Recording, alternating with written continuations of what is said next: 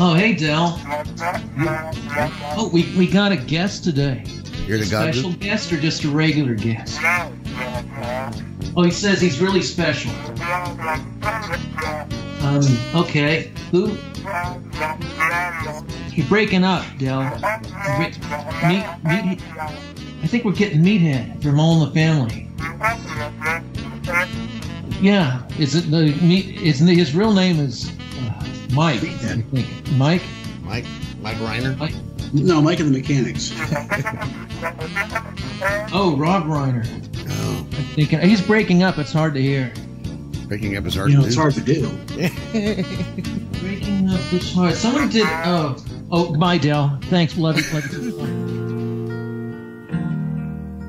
Sunshine on my shoulders makes me happy.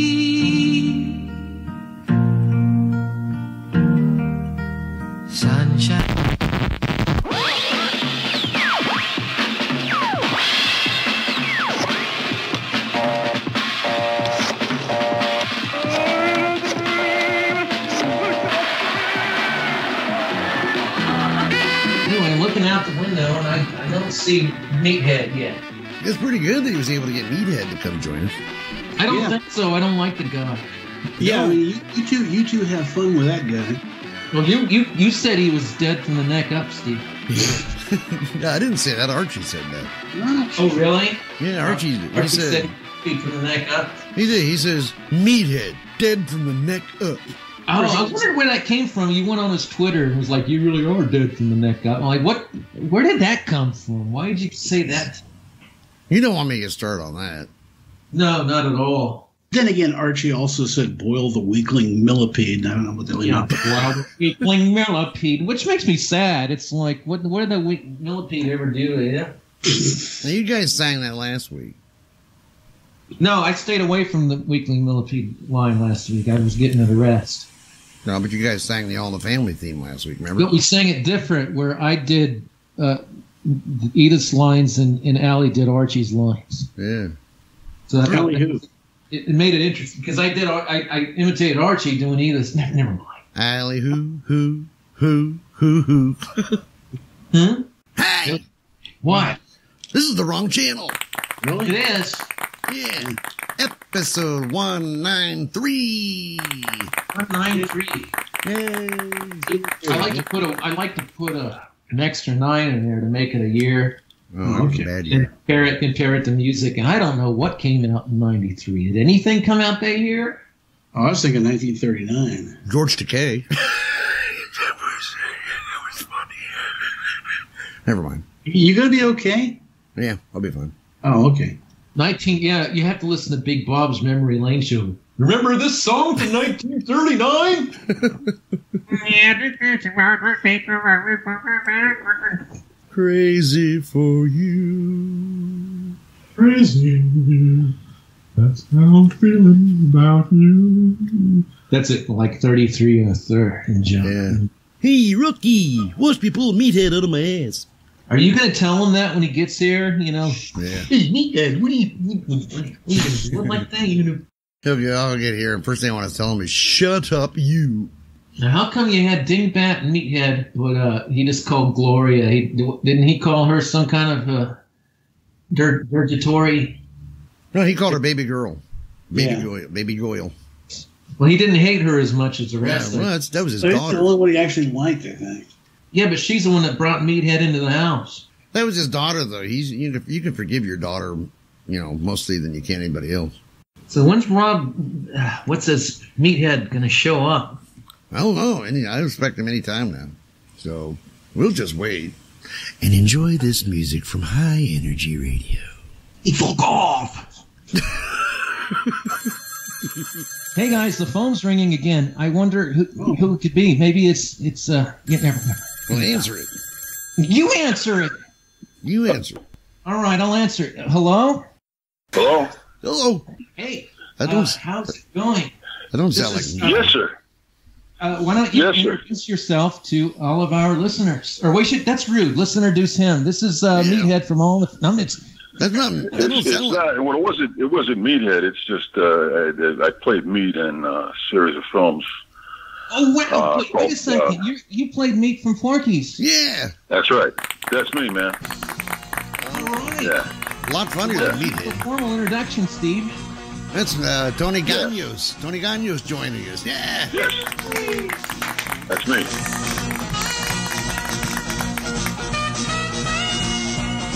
Yeah. That's a heck of a lot better than who we thought was going to be on. Yeah.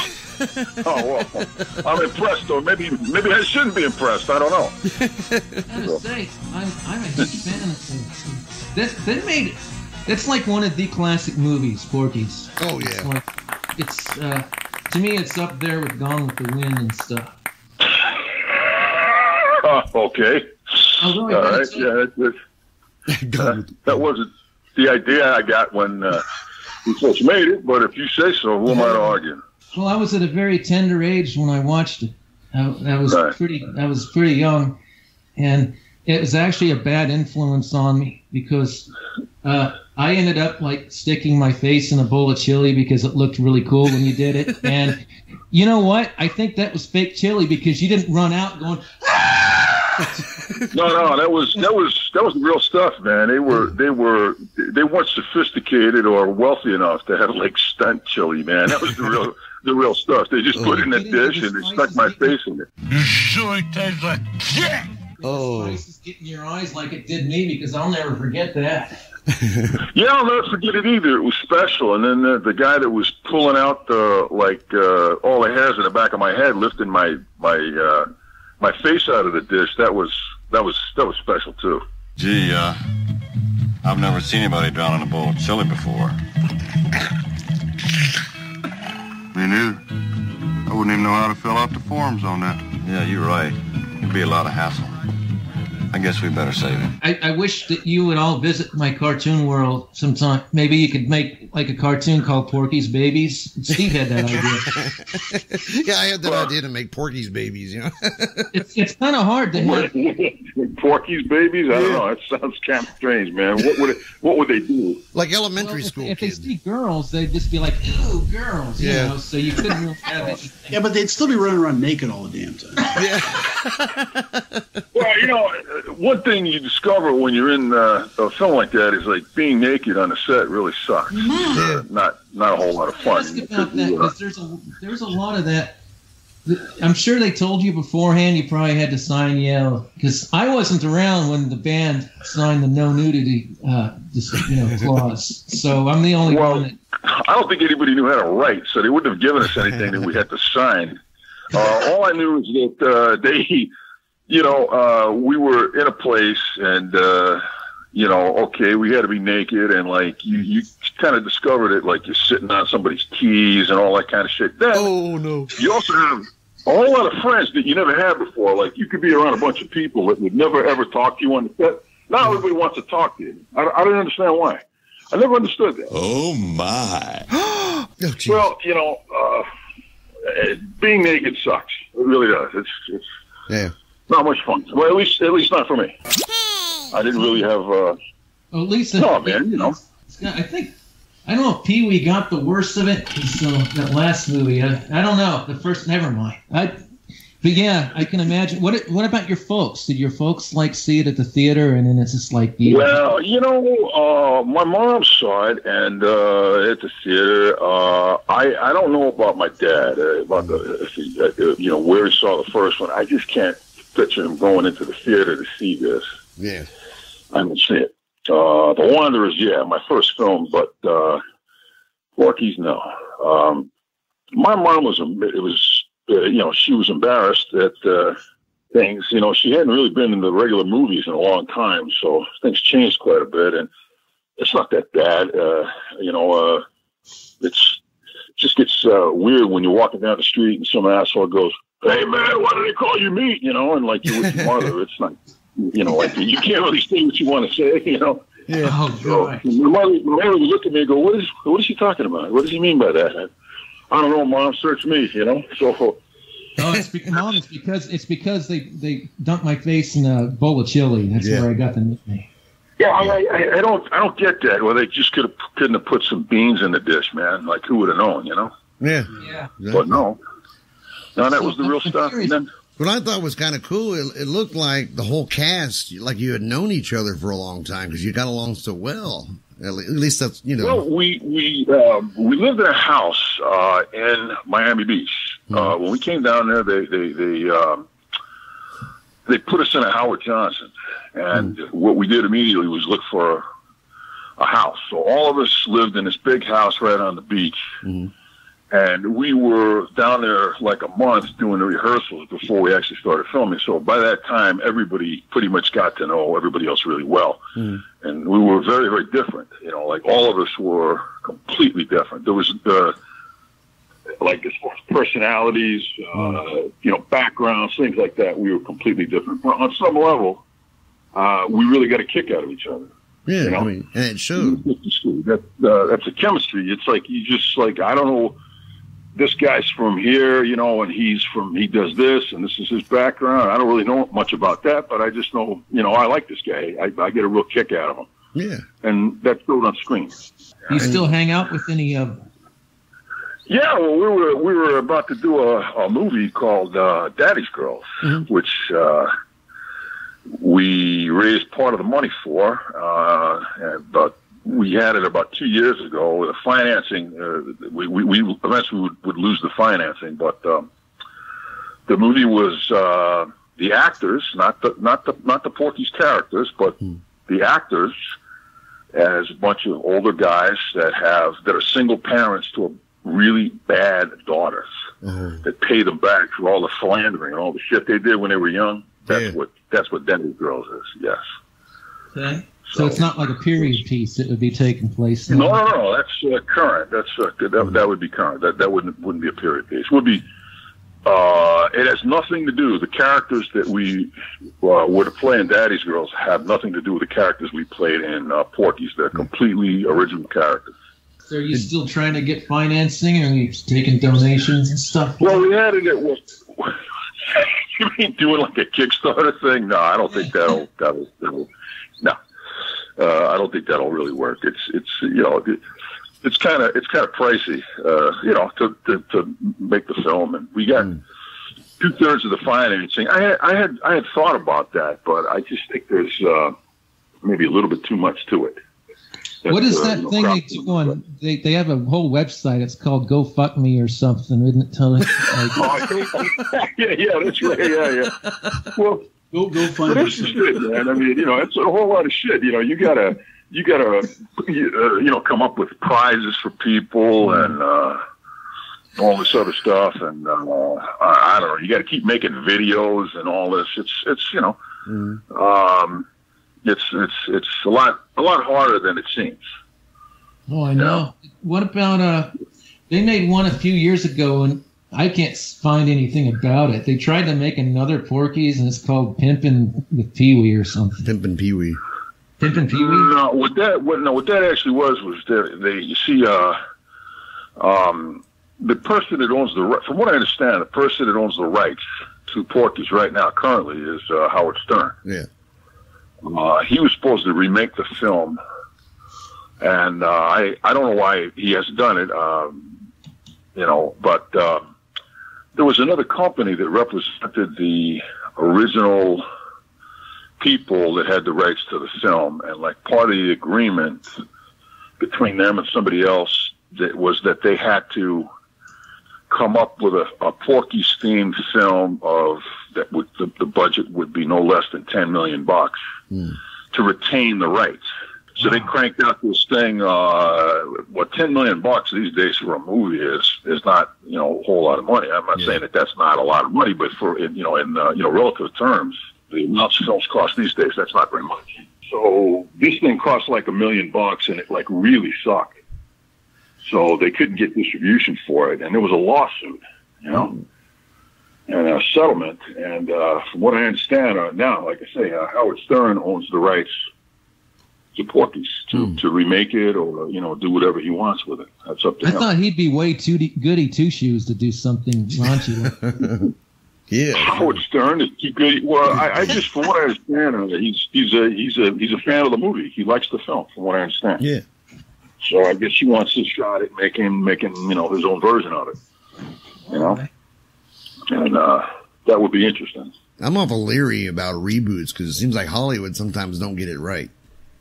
You know, they. Well, you know, you're right. I, I you know I, I have a tendency to to agree with you. I don't think you should remake a movie unless uh, you could substantially improve on the original. Like when um, Cecil B. DeMille directed uh, Ben Hur. You know, it was originally black and white. It was silent. So what did they do? They they came along with color, fancy cameras, sound, and Yeah. it was better. You know.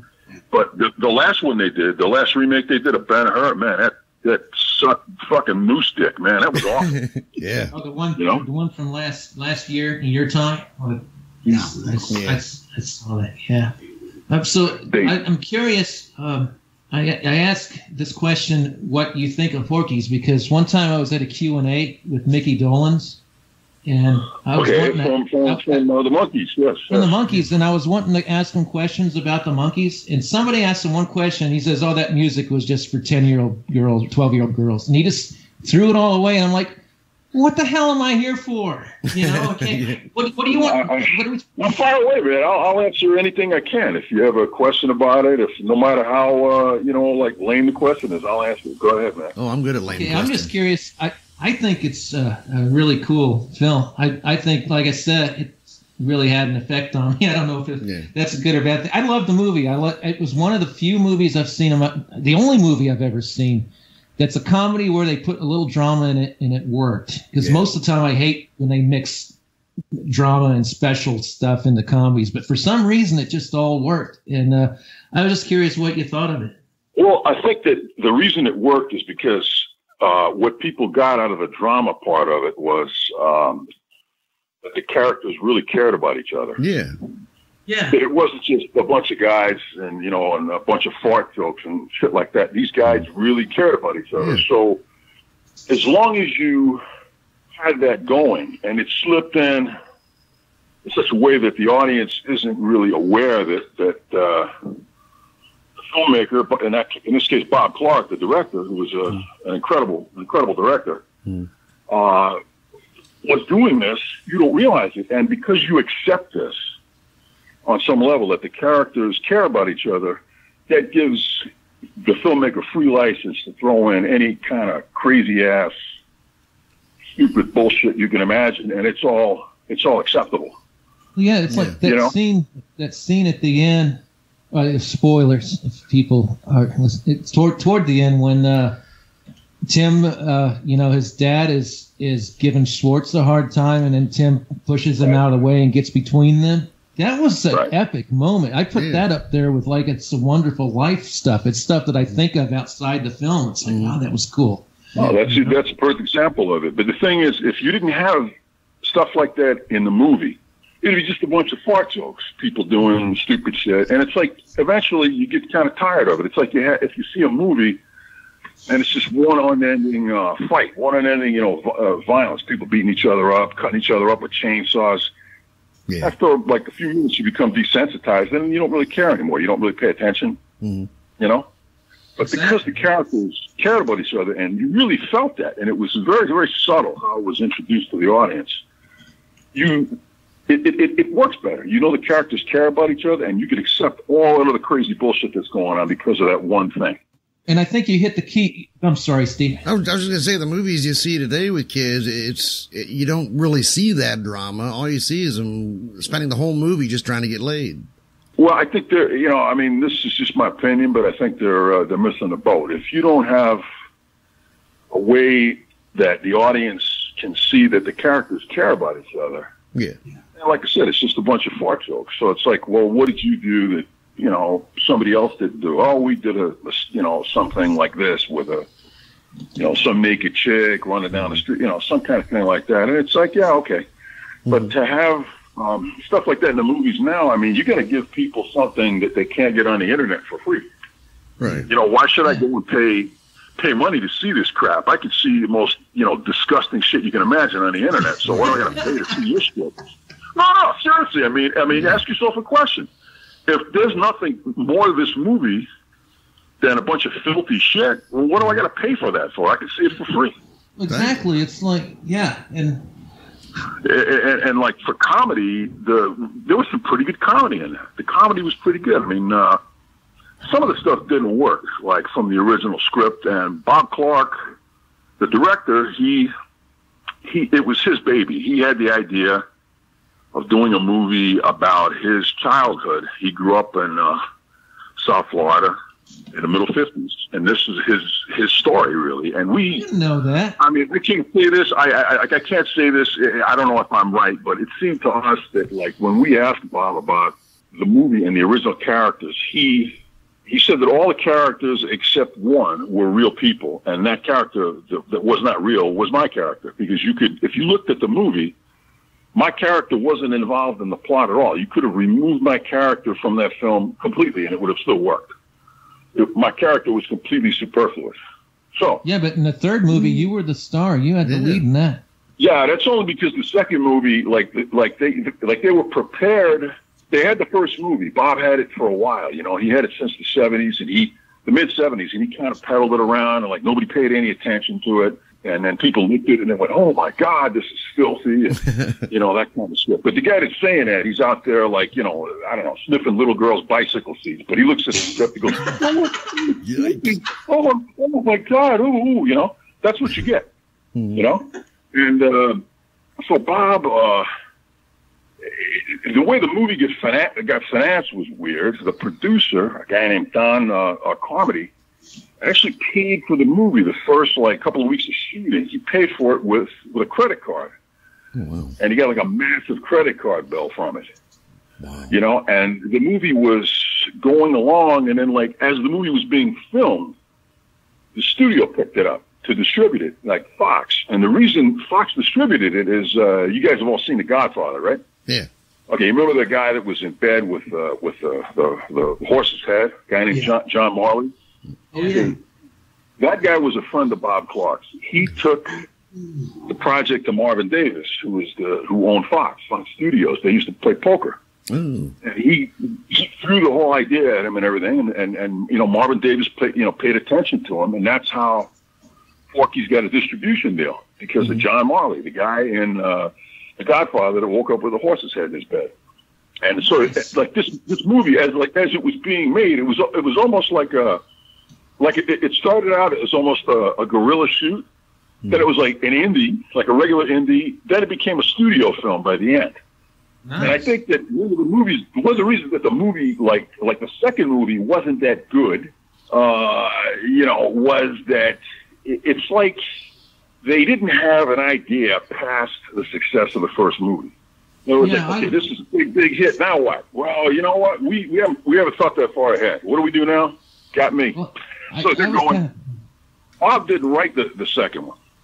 So they got a bunch of guys in a room and they're telling us, okay, well, uh, tell us like funny shit from when you guys were in high school. And I remember, I remember hearing it. I got like a knot in my stomach. I'm like, oh, oh boy, they don't have a fucking clue. You know, 'cause that's the, none of that shit's funny, man. Like you have to know the people.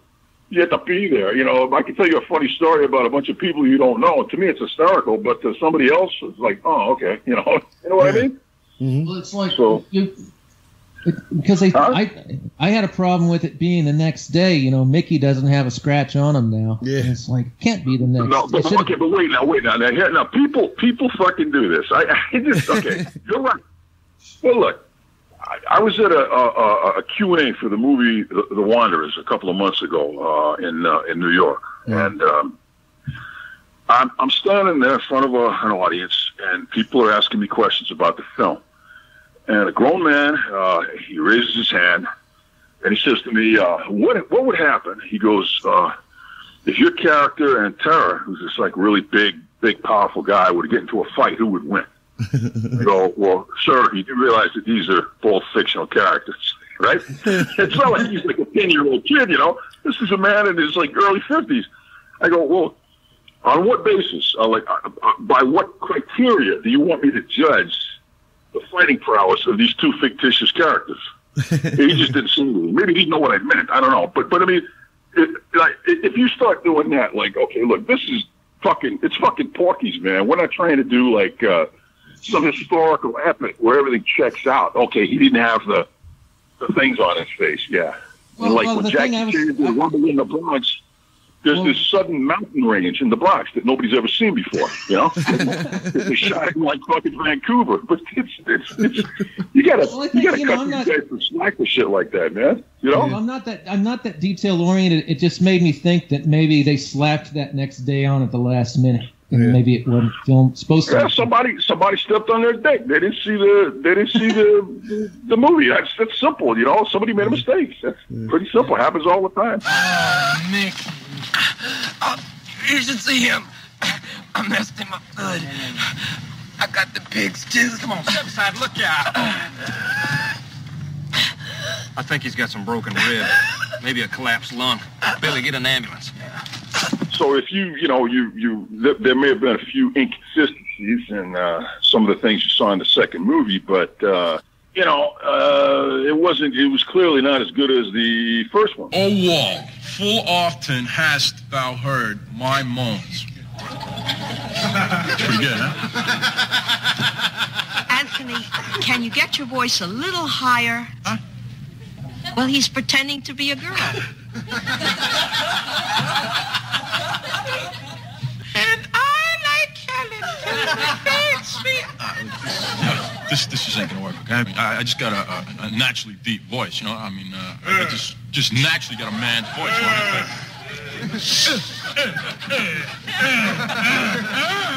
And the third one was a, a bit better than the second one, but uh, it was still by then we were like uh, forty, I think. So I got, I got a, I got a kick out of that. I got a kick out of the second one with Kaki Hunter doing the, uh, the big boobed girl. I mean, I just, I was rolling in the aisles.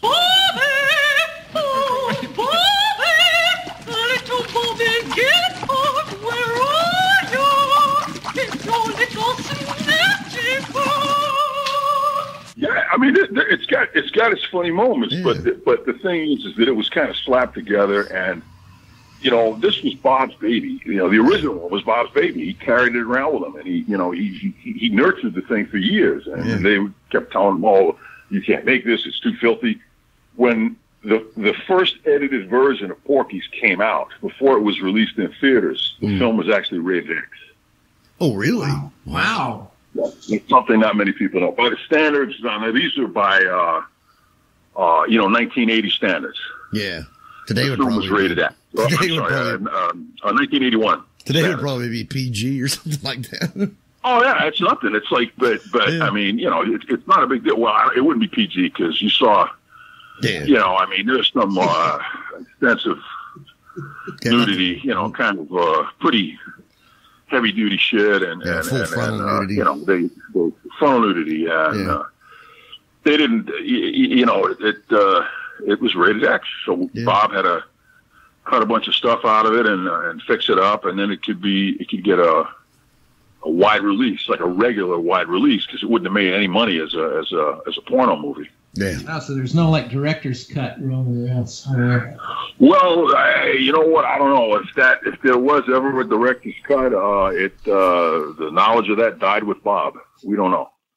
Which is really No. that's that's what I didn't want to bring up, but how sad and it made me wonder what it was like working with him because to me, you know, Porky's is one of my favorite movies, Yeah. probably my top ten. And another film in my top ten is A Christmas Story, which was like the next year, and Bob Clark too. It's like this guy was a genius. Yeah. He also something else that people don't know about Bob is that Bob was the creator of the slasher film.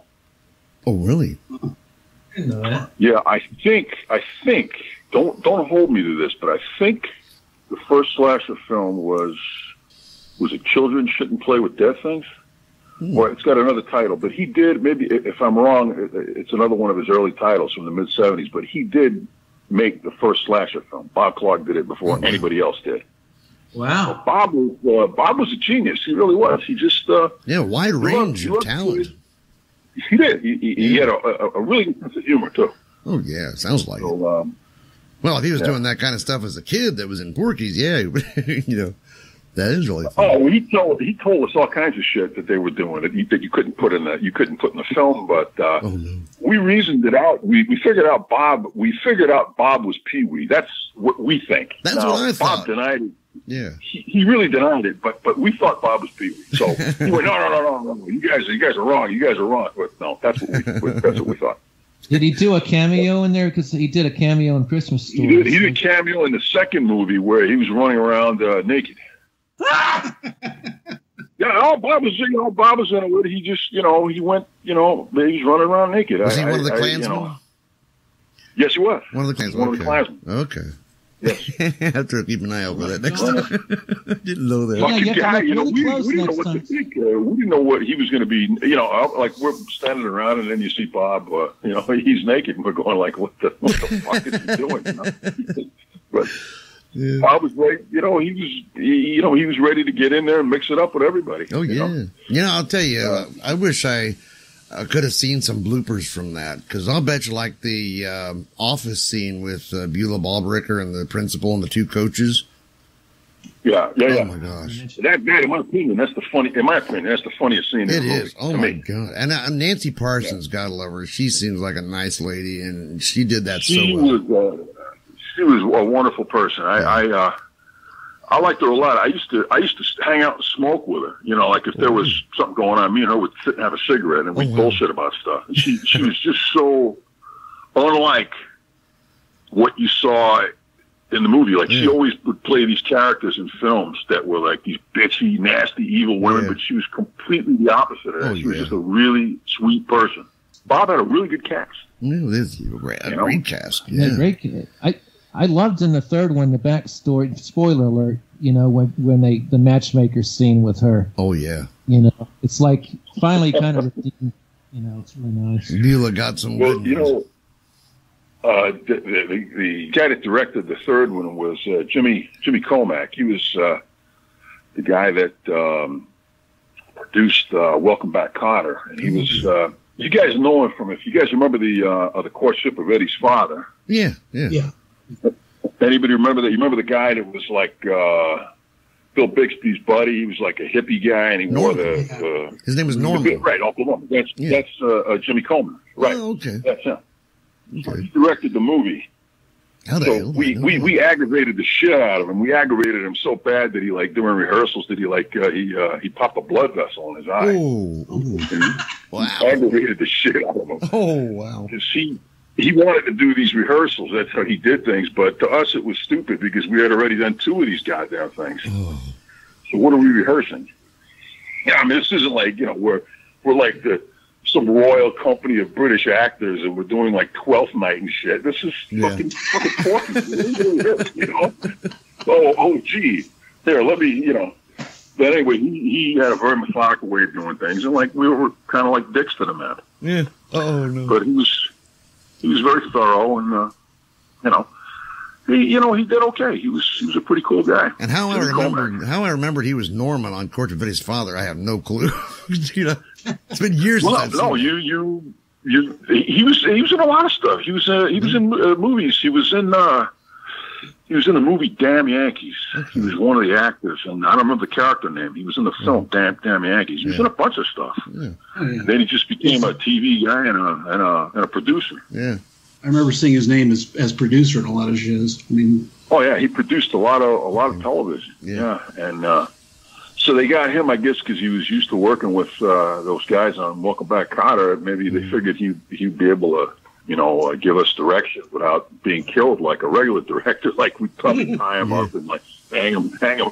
They'd find him hanging in a tree or something, you know. Mm. We did some stupid shit. No, we we played played a lot of practical jokes on each other and. Uh, some of the other cast members, like uh, not on any of the women, but um, but on like Chuck Mitchell, you know, and uh, and Jimmy. We did some stuff to Jimmy, and uh, Hmm. you know, we would do uh, stupid shit. And if they had if they had filmed stuff that went on in that house that we all rented on the first movie, if they had filmed that stuff, it would have been way way better than the movie. Believe me Oh, yeah. that was the shit that went on. You you couldn't I mean, you couldn't believe some of the shit that went on in that house. What we did in that house. I house, can believe it. Oh, and uh, yeah, I mean, it was just uh, we were a bunch of young guys. that they let us loose. We had this house that was right on the beach, uh, and uh, we had a good time. Yeah, like a regular really weekend good. at Bernie's going on. Yeah, weekend that. at Bernie's. Yeah.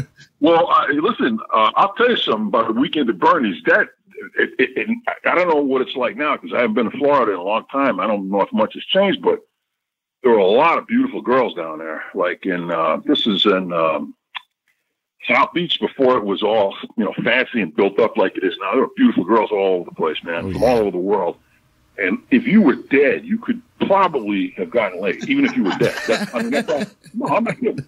Yeah, I, I, it was it was unbelievable. If you couldn't get laid down there at that time, you you just I mean I don't know just just fucking shoot yourself. That's you know that's how that's how amazing it was. Tell us about uh, Chuck Mitchell. Well, Chuck Mitchell was a was a stand up comic, and uh, he you know we would perform on um, cruise lines stuff like that. Made a living doing that. He got into movies. And I don't know why, but like we just uh, kind of had this thing, you know, like uh, we played practical jokes Yeah. on uh, each other back and forth, and uh, you know he he uh, he just did some unusual stuff. also, uh, I I would do shit to him, and he like he like you know cursed me out. And Nancy uh, Nancy told me Nancy Parsons told me that um, you know I think he I think he likes you. And I go, well, why why would you say that? Because you you you pay a lot of attention to him. You may not realize it, but you know I would do shit like be in a hotel pool and I'd walk by and I'd go, uh, there she blows or something like that. You know what I mean? Really loud, you know? Oh. Or he'd be, uh, he'd be sitting at, the at the table and, uh, uh, when we were eating, you know, uh, eating, eating lunch and he's got a big plate of watermelon. I go, hey, Chuck, uh, I didn't realize watermelon made people fat. You know, I'd say shit to him like that. He'd tell me, "What's that?" And I'd say, ah, fuck you, you know, like that kind of shit. So he had a great sense of And then, humor. you know, he had it. Well, I think he was disgusted with me at one point. You know, I think he just got disgusted. So he was he, he wasn't trying to come up with uh, you know creatively funny things to say. He was just telling me to go fuck myself. you know, but uh, I miss him though. I miss him. He was he, he was okay. You know? It was I, I I didn't I didn't realize that the man may have may, may have actually liked me like that. He was fond of me. I, I didn't I didn't think of it that way. Oh. But she was the one that pointed it out. Yeah. Yeah. Uh, he did a great job of being this kind of badass without a lot of yelling and just the way he is toned. This is under the breath. You know, you boys Well, he want was to. You a know, big he was a big man, and uh, he didn't have to really yell or be uh, demonstrative. He just pretty much had to stand there. He was uh, had a uh, formidable physical presence. You know? I wouldn't want to Well, it's piss kind of like you and the Wanderers. You beat the, the crap out of those guys with the toothpicks still in your mouth. Yeah. You're a badass on there. Yeah. I love the Wanderers. The Wanderers, uh, Wanderers is my favorite film. It just, uh, they just re-released it in December. Uh, the first time when it came out originally in the spring of '79, they, the uh, exhibitors, you know, the theater owners, they thought that there would be race riots in the theater, like which is what happened with the Warriors. It came out um, a couple of months before. Yeah. So when the Wanderers came out, they were really, really nervous because there's a lot of racial stuff in it, you know. Mhm. And it was in the theater two days, and they pulled it, Oh wow. and it never got the shake, or like the, the like a fair shake. So Mm. this company named Kino Lorber, they they purchased the domestic rights to the film, Hmm. And they re-released it in uh, theaters across the country, starting in um, about the middle of uh, November of 2016, and it's in some it's in some theaters now Mm. still. So it got, actually, after 38 years, it got more of a release now than it ever did. Wow, that's cool. So uh, I, I, just to me, that movie, I, I love that movie. I'm really, really proud of being being in that movie and having to do or anything having anything to do with the film. I'm just very, very proud of that movie. It's cool. There was a Porky's is Porky's, but the Wanderers, uh, that's that's will always be you know the closest to my heart. that's cool. You know? Yeah. If you get seen it, uh, and they also they're putting out a, uh, a DVD uh, and a uh, a Blu-ray. Like they're really doing it up right. There was a, I believe, a German Blu-ray of The Wanderers because it's apparently very popular in Europe. Mhm. And uh, I don't know how good it was, but this they really went all out and they made a really good version of it. this company Kino Lorber, and they just put it out. I think it came out the end of March. I'm looking forward to getting that. Yeah, Yeah. man. I'm glad to- I've been trying. I hadn't seen it. I've been trying to watch it on YouTube, different pieces of it, because I hadn't know able to find it in chunks. Yeah. The Wanderers, The Wanderers was a was a funny. It was uh, it's like a seven million dollar movie, and in 1978, when it was being filmed, uh, that was a decent. Like for the for the type of movie it was, that was a decent budget for the type of movie it was. Uh, it wasn't like a an action extravaganza, you know what I mean? It's something like that. But the, the type of movie it was, that was a decent amount of money. And uh, Oh, yeah. the the director, man, he was he. I, I had some really good luck because I got to work with some really great directors. Phil uh, Phil Kaufman, guy's unbelievable.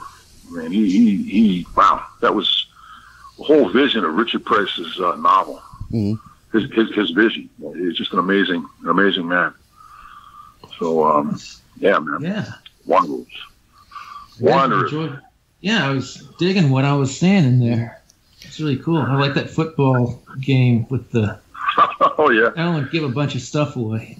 that was uh, that was uh, that was crazy because like when we actually did that, it took a week to film that, and like people were getting sent to the hospital. Like the uh, couple of camera operators got sent to the hospital because what was difficult is um, when the director yelled "cut," the action would continue for like sometimes like three minutes, five minutes, and three minutes is a long, long time. Oh, You know what I mean? Like the saying, when, uh, "Yeah, I wouldn't want to hang for that long." Yeah, well. Leave the kid alone. Say something, man. Say something, mother. Hey, you hear me? I'm talking to you. Leave the kid alone. You know who you're talking to, asshole? Beat it. Nobody fucks with the baldies.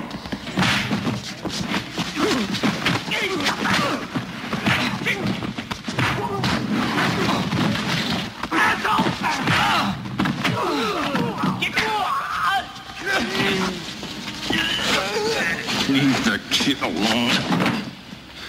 Gotcha. That movie Gone in 60 Seconds, the new one with uh, uh, Nicolas Cage. Did you see that? I only saw the original. Uh, the Okay, me too. Now, okay, okay. I've seen the original, but I've seen the other one too. But to me, I love the original. The the the acting in the original isn't. Uh, I mean, like uh, if Laurence Olivier was still alive, then I don't think he'd have anything to be scared of, scared at. If you get my drift from the Well, the first the half of it was was- just so hard to follow. Yeah. Somebody drove, and and it's not edited well, but somebody drove that yellow Mustang. Who the hell drove that car, man? That was unbelievable. But you knew that somebody actually did that. It was, it's, it's not, um, like a visual effect. Yeah, there's no It's CG. real. Somebody did. Somebody got in that car and did that driving. A real guy did that driving. Yeah, But there's like, a scene, um, there's a scene where he hits a hits a light pole, and that nearly killed him. That was an accident, and they kept it. Yeah, they, but that's going to happen. That's what I was saying about the fights. The same thing. It, it, you know, nothing's perfect, man. It's it's. But that guy, in order to drive that car, wow, he must have been like like that guy must have been incredible to be able to do that. Yeah, he ended up You know? dying on set on his third movie. I didn't know that. I just admired the the guy's skill, and when I saw the Nicolas Cage movie, I mean, I, I realized all that's. Uh, a lot of it is a visual effect. You know, it's not Yeah. real, so it's like, yeah, okay, you know, Hmm. it's great. At least like those old movies, like some of those old Bond movies. Like what's that one where I was it with, uh, with Roger Moore, where somebody jumps out of a plane? Do they have a chute on, or they don't have a chute on? They have to take something off of. Yeah. He went and got the Well, shoe they have off to the take something guy. off one of the actors. I think it was Moonraker, didn't he? He took the shoot off of uh, Jaws. Right, right. But I mean, it, it, okay, you know that it's not, it's not, uh, it's not, uh, you know, Roger Moore, but but somebody did that. You know that somebody was doing that. That's that's It's exciting. I mean, to me, stunt, it's like holy shit. You know, somebody fucking did stunt. that. Like if they if they missed, they, they they'd have fucking died. You know. Yeah. I mean, it was real people doing real stuff in the, you know. All that's gone now. It's all you know CGI stuff, and you know. Yeah, it I mean, is. A I- lot, a lot of it looks like dog poop, you know. But it all looks the same. A lot of that CGI stuff kind of looks the same. Like the like the. I don't know. It just has a look to it. It looks like fake in some similar way. You know, I don't know. you know what gets gets me? Uh, it's these uh, these big blockbuster action movies. A lot of with the superheroes. They've always got some big fight scene at the end in New York where you can't tell what the heck is going on for like ten minutes. because there's so many little cuts and things going on. It's like what? The, and every movie seems to have it. Buildings falling over. I guess they got to try to outdo each other. What I don't get is how come like you look at some of the superheroes now, they're like they're like uh, they look like twelve year old kids. Yeah. like, uh, who are you here? Uh, Who are you here with, little fella? Did, did, does your mommy know you're here? You who? Green what? Oh, okay, sure. excuse me, excuse me. Yeah. I don't get it. How some little dude, like you know, some little dude, he doesn't even look like he shaves. He's he's like a superhero. I, I don't know. Yeah, that's like I, I I like the show Flash that they have on TV now, but he looks like a like a high school kid, you know, and it's and it's just hard to believe it. Yeah. Well, yeah, no. See, that's just it. I'm I'm with you. But some of the superheroes, like Spider Man, he was always Spider Man mm-hmm. was a high school kid. He's supposed to be that way, Mhm. but not all of them are that way. I mean, some of them are actually grown up men. You know. Yeah. So that's what that's what that's what we're used to when they had grown up men being superheroes. Oh yeah. Yeah. Of course, like watching Happy Days back in the day, I always thought they looked like they were in their forties. Who, who, who, which which one? Which one? oh, you know, Ralph and Potsy and all those guys on Happy Days back in the seventies. You know Of what's course, I, funny? you know, Um, I was a teenager back then, so they, they look really old to me. people said that about about Porky's. Like we even when we did the first one, they were saying, "Hey, come on, man." These guys were like, you know, I, I was the youngest. I was like 21 yeah. when we did Porky's. But if you look at some of the high school yearbooks from back then, you got like some guys like 13 and he's got a full like you can see the beard shadow that goes it grows you know right up to his eyeballs. You know, he's already going bald. You know, yeah. And, like you see some chick, she's like 13, and she's like, "Holy, holy shit, man! Look at the crack on that chick. She's how old? Holy crap!" You guys might have looked older than us- a lot of high school kids. You- You weren't babies, but I can't imagine a different cast pulling that off. I mean, that that's me. That's what made it magic. You know that and the Well, director. thank you. That's a that's a really really nice compliment. Thank you. You know, sure the other guys could hear you, they would they would agree. That that's a really nice compliment. Uh, I, I I think that uh, you can get other actors.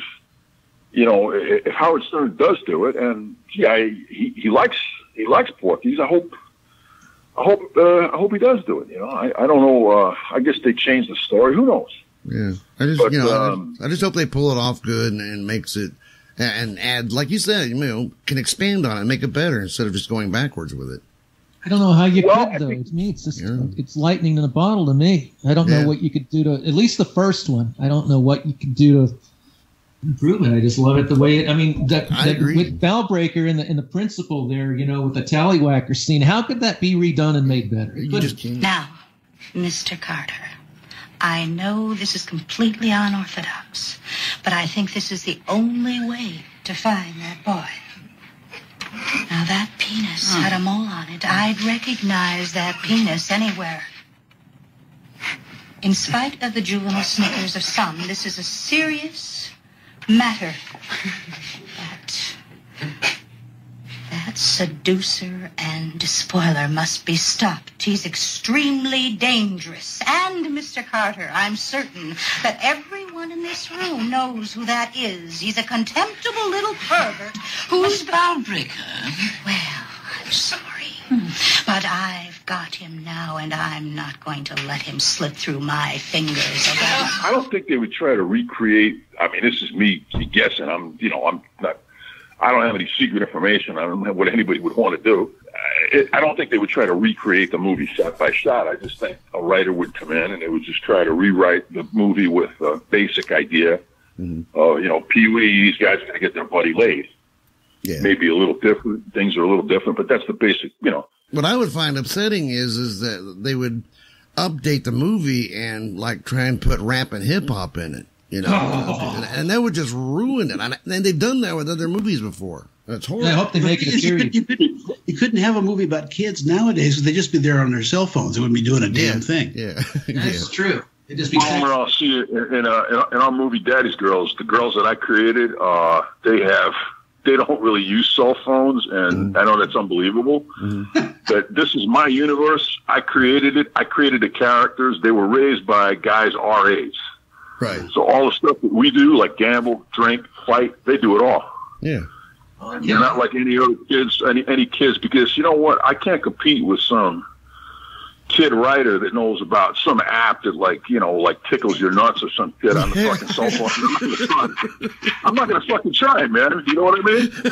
So way, you know, what do my girls do? They do they do like they do uh, they do the mashed potato. Why? Because their dads play hit music. You know what I mean? I want to get me that app. Um, okay, well, that's what I'm If I find it, I'll, if I find it, I'll, uh, there you go. I'll let you know. But you understand what I mean? It's just Yeah. like you know, uh, you know, George Lucas. He does Star Wars. In his universe, there's sound in space. Well, in my universe, not every teenage girl is stuck to a cell phone. And Right. Yeah. I tell you what, I'm glad that I'm glad that George Lucas didn't direct Porky's. Or at the very end of it, you know, everything's perfect, and then he puts on there, meat was killed in a shooting. you know, and he walked into a convenience store, and Pee Wee died in a car accident, and uh, Oh, this yeah. other guy, uh, Tim, Tim was So, sent like you do with with, with to uh, uh, came back.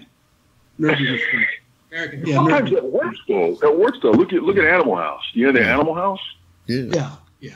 Yeah. That's funny Well, shit, man. That they did. Well, they did it that's funny really in Animal shit. House.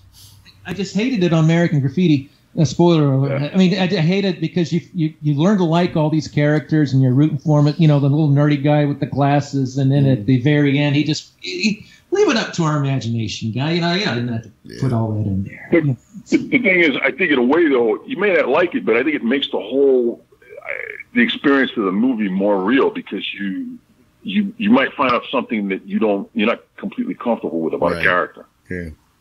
And that makes it real. It's not like everybody can sail off into the sunset, marry the fucking prom queen, and sail off into the sunset. It doesn't work that way, you know. Not in real life. Yeah, but that's So- you know that's but that's my thing. It's like we watch movies to get away from real life for a little bit. Otherwise, we just watch the news. I mean, I do. I watch it to to you know my cartoon, Paul. You know, we go we go out there and we do funny cartoon stuff, and I I try not to talk about people floofing. That's what dying means in our world. Floofing. I said too much. Hey, listen, man. My favorite movie. Um, my favorite movie. Okay, it's a toss-up between uh, Jason and the Argonauts, the original one, Oh yeah. and a movie called El Cid. I love Jason and the Argonauts. When I was a little kid, Mm, okay. uh, they took me to the movies to see that, and I was, I was I was fascinated by it. I was just absolutely fascinated. I don't know how many times I've seen it. I, I, I probably hundreds of times. Ray Harryhausen with the with the stop motion. You know what? I love that better than all the damn CGI they do with the computers. I mean, you know that it's not real, and it's but like that some of that stuff, it just looks fucking cool. Like that that giant bronze guy and Jason of the Argonauts. That's fucking cool, man. Mm-hmm. I like that shit. I was a little kid, and um, I thought that shit was real. I really did. I thought it was real. I was staring at the screen. I would ask adults questions about that, like where where, where is that? You know, I thought that if you went there, you would see that stuff. You know. That's how I was with Land of the Lost. Did you ever see the seventies? Yeah, yeah. Listen, listen. I used to watch that too. I used to watch that too. Well, we actually You know? had on our show. We've had Wesley Eure, who played Will, on our show. He's actually oh, yeah, yeah, been yeah. in my. I don't, man, I don't know that guy. I, I don't know him, but I know who he is. Sure, I watched Yeah, that show. Uh, Oh my god, yeah, the the, the the series was awesome, but the movie was sucked. sucked fucking big dick, man. That Oh, movie, yeah, he- that was fucking awesome. Oh, And, uh, Wesley will agree But that with you. movie was He terrible. said that they were. He said him and and uh, Kathy Coleman, who played Holly, had these cameos that they didn't. e- They they were on the cutting room floor. Didn't even make the cut. Oh yeah. He just said it was terrible. It was. They, Yeah, they tried They, to. they, you know, they should have at least put the put the the, the, the, the original actors into it in a way that it's, that uh, the cameos were there so that it like introduces us that the show the show had fans. You know that uh, it would introduce them to the new movie. It's like they're giving a. It's like the, the the original characters would be sanctioning the new movie. You know what I mean? Yeah. Yeah, well, they did that right with the Brady movies. I thought they did a really good job of making it funny, but not slapping the Brady's fans in the face, which is what they did with Land of the Lost. That you know. Hey, the Brady Bunch was cool too. The Brady Bunch was a cool show, man. Now, I'm wondering if they reboot that show. if they reboot Porky's, whether they'd have you guys come back as cameo appearances. That'd be cool. Well, yeah, I think that. Well, I think that. Uh, I think they should. You know, we had one one less guy. We had one guy passed away a few years ago. Yeah, Wyatt but, Knight. I was uh, yeah, I was I was gonna bring, Wyatt Knight, yeah, I was gonna bring him up. You know, Yeah. I was so sad when I found out Wyatt Knight passed away. yeah. Wyatt was Wyatt was a good guy, man. He was a really funny guy Oh, too. he was. And um, oh yeah, he was a pra- arch practical joker. I was gonna say uh, you could just tell by the smirk on his face that he was a practical joker all the time. Oh yeah, he was so he played tricks on everybody all the time. Yeah. You know, oh, hey, He really did. He uh, he uh, he was uh, he was quite a character. Yeah. But Yeah. if they did that, uh, Howard Stern, I I don't I don't know. I mean, I, that'd be kind of cool. You know, I don't understand. I, I don't quite get the what, what's the what, why he hasn't done it. I, I I wonder if they're just having trouble with a script. Like maybe he wants uh, to get a script uh, that, in his opinion, is of uh, really high uh, you know quality. I guess he's got a like a mark to hit. You know what I mean? I tell you what, his autobiography, his Private Parts movie was really good. I enjoyed that. I never really knew who he was before that. I didn't see. I, I, I didn't. I, I didn't see it, but I know that he owned at one time. He owned the rights to um, uh, Rock and Roll High School. He was going to remake that too, and that uh, that that didn't work out. The rights reverted to the original owner. Well, I, I recommend uh, I recommend Howard Stern's Private Part. I recommend the movie because no, I'm serious because he plays himself as a teenager. He plays himself. He, and he's very self-degrading. He's, he, he shows how he screwed up as a teenager, how he was a horrible DJ, and he showed it how he got fired from all these different. It was so entertaining to watch, and he, he did. It was just a really great movie. It's really funny. I mean, I'll check it out. I, I, I've never seen. I, I, I- I've never seen it. I just. Highly Uh, all right. Hey, listen. I'll, I'll go out and uh, I'll go out and check it out. I just. Uh, I know he has uh, his uh, satellite radio show. Very- Very popular. Oh yeah. And he hey, does he still have a does he still have a show on cable like a like a TV show? I'm not sure. I watch it on YouTube. That's my only form of entertainment. I can, I can do. Oh, okay, yeah, he had a show for a while. I don't know what uh, what the story was, but uh, yeah, I just think that they should, if they remake something, it should be remade because some in some way they can make it better, and it shouldn't be remade just to make it politically correct. Like look what they did with uh, you know Ghostbusters. What what was the point of that? Oh, that was. Oh, don't even get me started on that. No, that, that, that really, no, that really fucking laid there, man. That that fucking fucking laid there. It was, it was awful. But they put it to make it politically correct. So now instead of having all men, they're all women. Yeah. Well, okay, but that what does it do for the movie? It didn't make it any hmm. funnier or any, any Well, better. I, I would go that with Porky's too, because the first Porky's with Schwartz and Tim, it was a really touching, a really neat part of the story. I thought, mm-hmm. but they, it like you kind of mentioned earlier, they weren't hitting you over the head with messages. It was just this nice kind of side. but you got to it's a Bob Clark script. Bob Bob Bob wrote that, and that, Bob had that for years. That was his. That's his. Mm-hmm. His his life as a teenager and growing up in South Florida. That's that all happened to Bob. Yeah. Yeah, Well, well, I second just I was just thinking the second.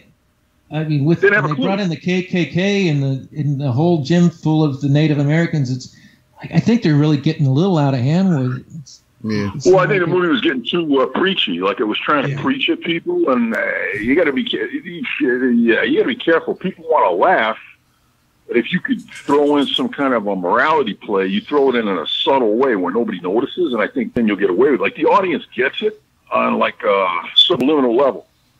right. But And, well, we, When you we- hit people over the head with it, nobody likes that, man. They're like, "Oh yeah, okay, we get, we get what you're trying to tell us. Yeah, we get it." We're closing you down, Morris. Closing you down. On whose authority? God. The righteous law. So saith the shepherd. So saith the flock. And if that's not good enough, we'll take it to the principal's office. And that's kind of how the Yeah, second one was. Well, the first one was we found out Tim was just that way because of his dad, and he eventually stood up against his. You know, it, it kind of Yeah. had. You know, I Yeah. don't know what we're talking about. Except the Mike with the Mike Hunt. I didn't. did you know I did not get that when I was at the theater watching that? The Mike I was like, why is everybody in the aisles rolling? Like, you know, like, I, I thought. It, it didn't bother on you know, why it just like it hit you, you know, all of a sudden, No, I, like thought, I thought maybe I thought it was maybe sex oriented, like maybe he was hunting for something that might hunt. It was. It wasn't No. until later. I was like, oh. Well, you you were a little kid, Harry. You know what was fucked up? What was fucked up about that movie is like we when we were out in the swamps there, we were really out in the in the the, the fucking Everglades, man, and like water. There were like snapping turtles, water moccasins.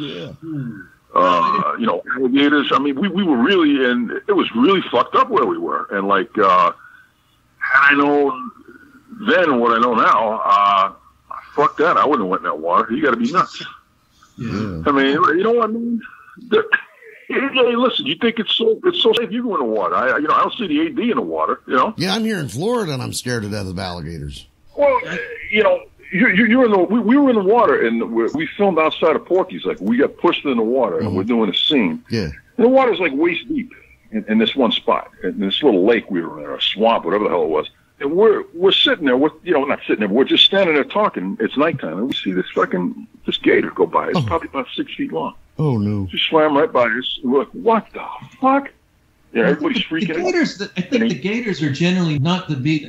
I, I, I would worry more They're like about a night water gators, right? They're not the ones that like bite off parts of you. They were like they're like the nice ones that bring you coffee and shit, right? they get you, they get you, they get you chicks and bring you coffee and, Yeah. that, and that kind of. No, no, man, I don't want no gators or snapping turtles or any.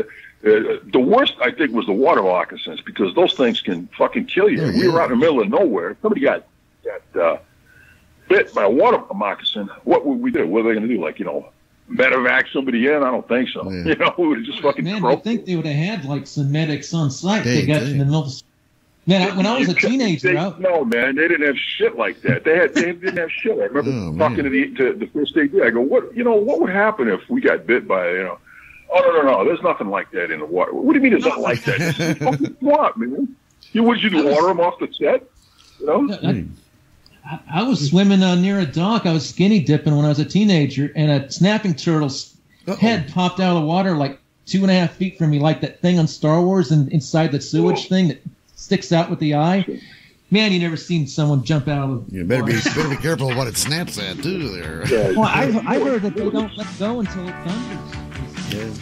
You, you, you know what's scary? Those alligator snapping turtles. Those things look like fucking prehistoric monsters, man. Oh, yeah. Alligator snap, snappers. Mm. Holy shit!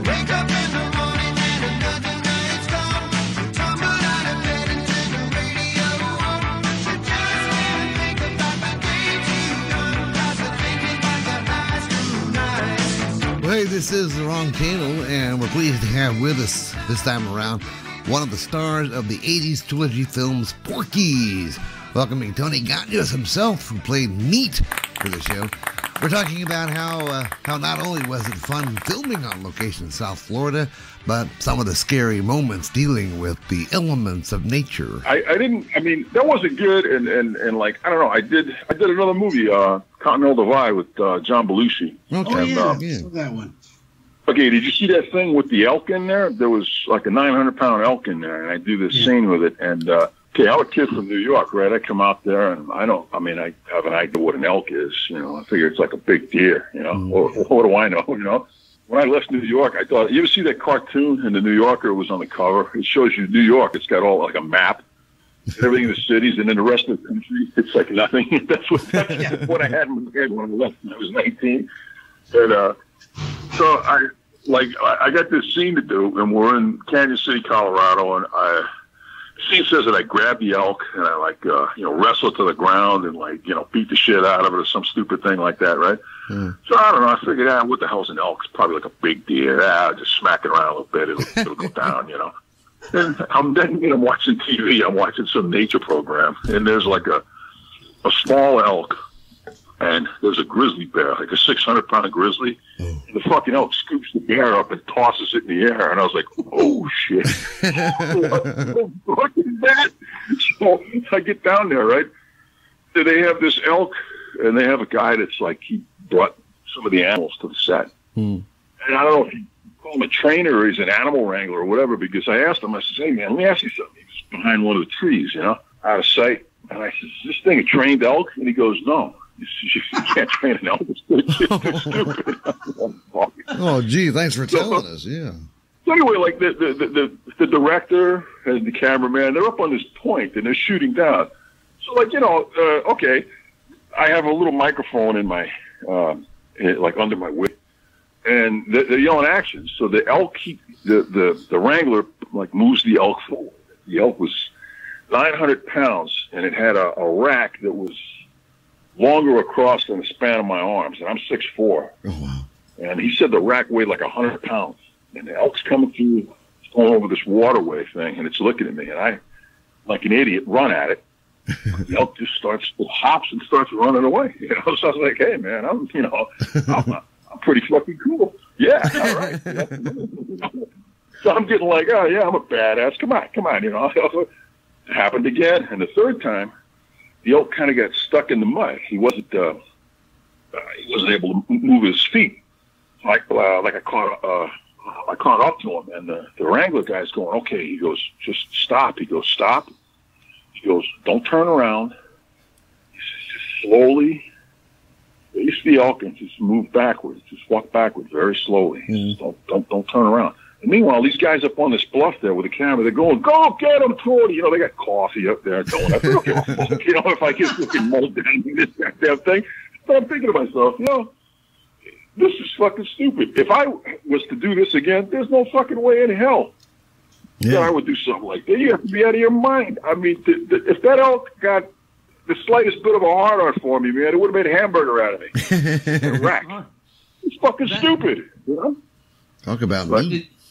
You said it was Yeah, kind that's right. Talk about raw meat, man. Yeah. That, that would have been it. Raw meat. Yeah. And, and you you are do some uh, stupid shit. Huh? Canyon Cañon City. That's where the Royal Gorge Bridge and all that is. Royal Gorge Bridge, exactly. That's where we're going, Cañon City, Colorado. You know who? You know who? Uh, who was the most famous uh, native of that little town there? Ann B. Davis. That's the lady, the actress that played Alice on uh, on Brady Bunch. She, she's from Oh, that okay. little Oh, town. Ann B. Davis. Okay. Ann Ann B. Davis. I thought you said yeah, Andy she Davis. from that little town. Yeah, she was she was a nice person. She was one of those what do you call it? Philant- not philanthropist. Somebody that kind of gave up her career to work in uh, bread houses. You know, that help poor Oh, people. Ann B. Davis. Yeah. Yeah. Well, that's something. Sounds like sounded like she was a really nice lady. Oh, but uh, yeah. she was the most famous person from that little little place there. It was just a little tiny town in the middle of nowhere where they had to stay.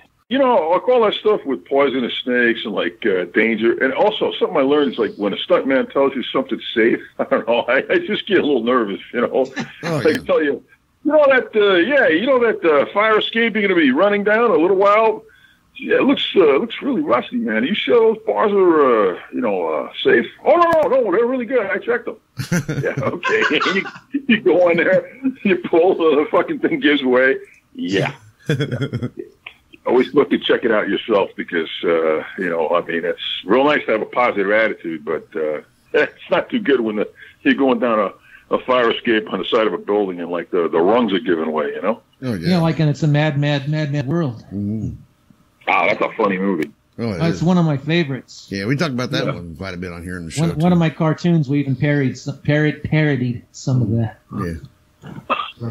I like that guy Terry Thomas. You ever see? You ever see? Uh, it's a movie with they did with Jack Lemmon, uh, How to Murder Your Wife.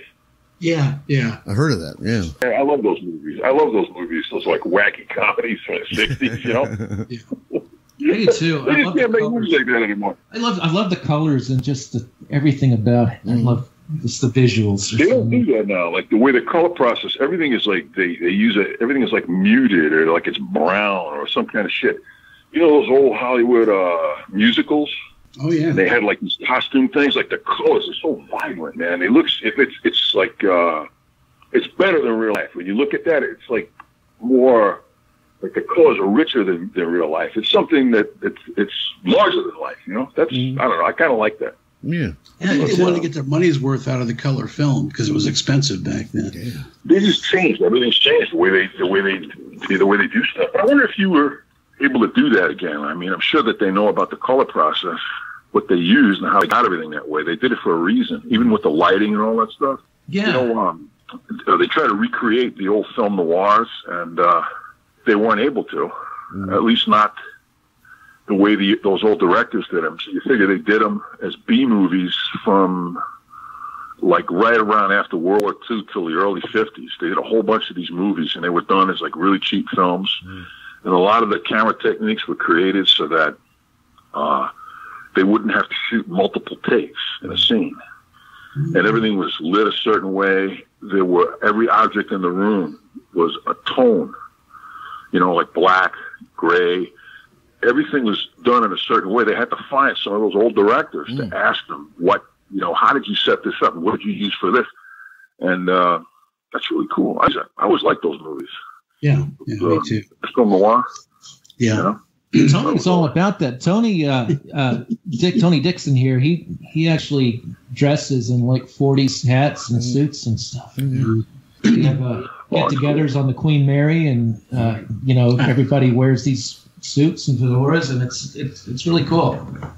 Yeah, it's got to be. Well, those those, uh, those clothes uh, look, look kind of interesting that those guys wore. Everybody everybody wore a, a hat. No, men weren't considered dressed if they weren't wearing a. Uh, Oh yeah, and even even the bums on the street that have suit, you know, coats and ties on.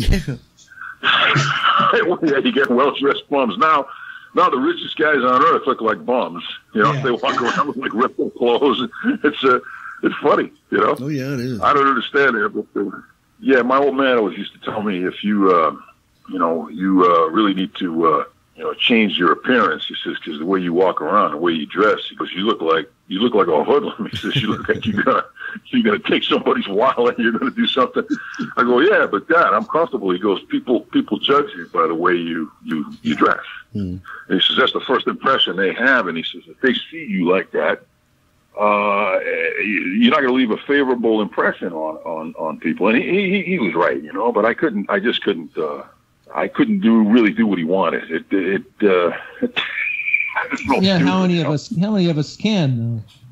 But didn't you? Did I, did I read correct? Your dad was it? Your dad pulled you out of the gym or whatever to audition for first No, that was my uncle Pete. Uh, my uncle Pete um, was uh, he was a physique champion in the late fifties. He won titles all up and down the East Coast. In '59, he placed third in the AAU Mr. America, and in the uh, AAU uh, in the uh, NABBA Universe in, in London. And uh, he was Mr. New York City, Mr. New York State.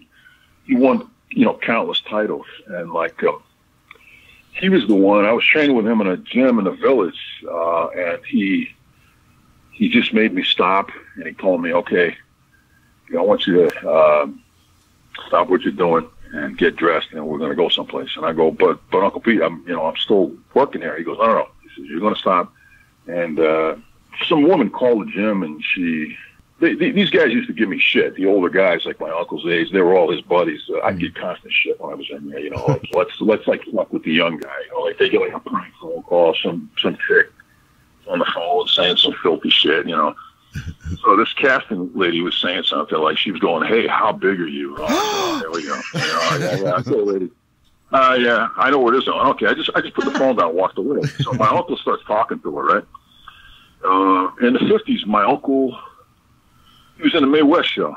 Mae West used to have this uh, Yeah. revue of these muscle guys. My uncle was was one of those guys. He was in the show when he was like uh, he was 19. She picked him when he was like 19, and um, my uncle had a real heavy accent, like a very heavy Greek accent. And he he tried out for movies and everything, but he couldn't. Uh, like the accent was always, he felt was always stopping him, you know, from from moving on. But when that happened, he thought maybe you know there's an opportunity here for my nephew. Maybe he can do something that I can't. So he kind of forced me to go down there and audition. And if it wasn't for him, I wouldn't have worked because I th- there were probably three people on Earth at the time that could have actually physically forced me to do something. That- and my, no, he was one of them. If he said whatever he said, I would just go, okay. I wouldn't argue with him. I wouldn't say a word. I would do whatever he wanted. So, uh, that's it. He knew, you know, uh, I, I don't know, I went in and I thought, oh, these people are insane. There's a bunch of actors and they're, you know, they're reading sides. They're, you know, they're trying to prep before they go in. And I didn't understand that because I didn't know anything about acting. So I'm watching these guys and I'm going, well, these guys must be out of their minds. And Uncle Pete looks like, get the fuck out of here. And he goes, no, no, no, no. Uncle Pete, this guy's talking to a fucking plant, man. Let's get out of here. You know, He no, no, no. He says, you're going go in there. I go, what is this? What is this? He goes, I don't know. He's it's some kind of commercial or something. And he goes, you know, just go in there. So they went in there. I spoke to Phil Kaufman, and uh, he had me come back for a, a screen test. So I took a screen test with a bunch of other people that were uh, pros at this, and I, you know, I was just really fortunate that I, I got it, and uh, you know, was able to do the Wanderers. But it was because my uncle, uh, my uncle pushed me. You know, and he, uh, you know, when he was young, he tried out for uh, Superman. Oh, really? The George Reeves. Well, he looked like Superman. He had black hair and he had like blue eyes, just like Superman. Oh, wow. He looked just like him. He built like a brick shit house, and he, and he, uh, he looked like Superman. But then he has that he has that accent. And I know that, that, that that's not going to work. That that wouldn't work.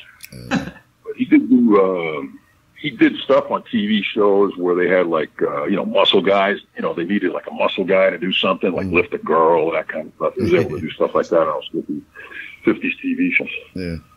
So um, yeah, and um, like like me, my uncle, you know, wasn't really uh, he didn't really dress up too too nice. You know, like just you know, kind of wore like uh, sweat clothes, stuff like that, and Yeah, laid back. you know, we we we yeah, we worked on cars and like we get all greasy and uh, like my dad, my dad would put a suit on every day of his life. He'd have a suit on, nice shoes. You know, to, to my dad, like being casual was like leaving the top button of his shirt open. You know, and, not, and like not not wearing his tie, but leaving the button of his shirt open. Oh wow.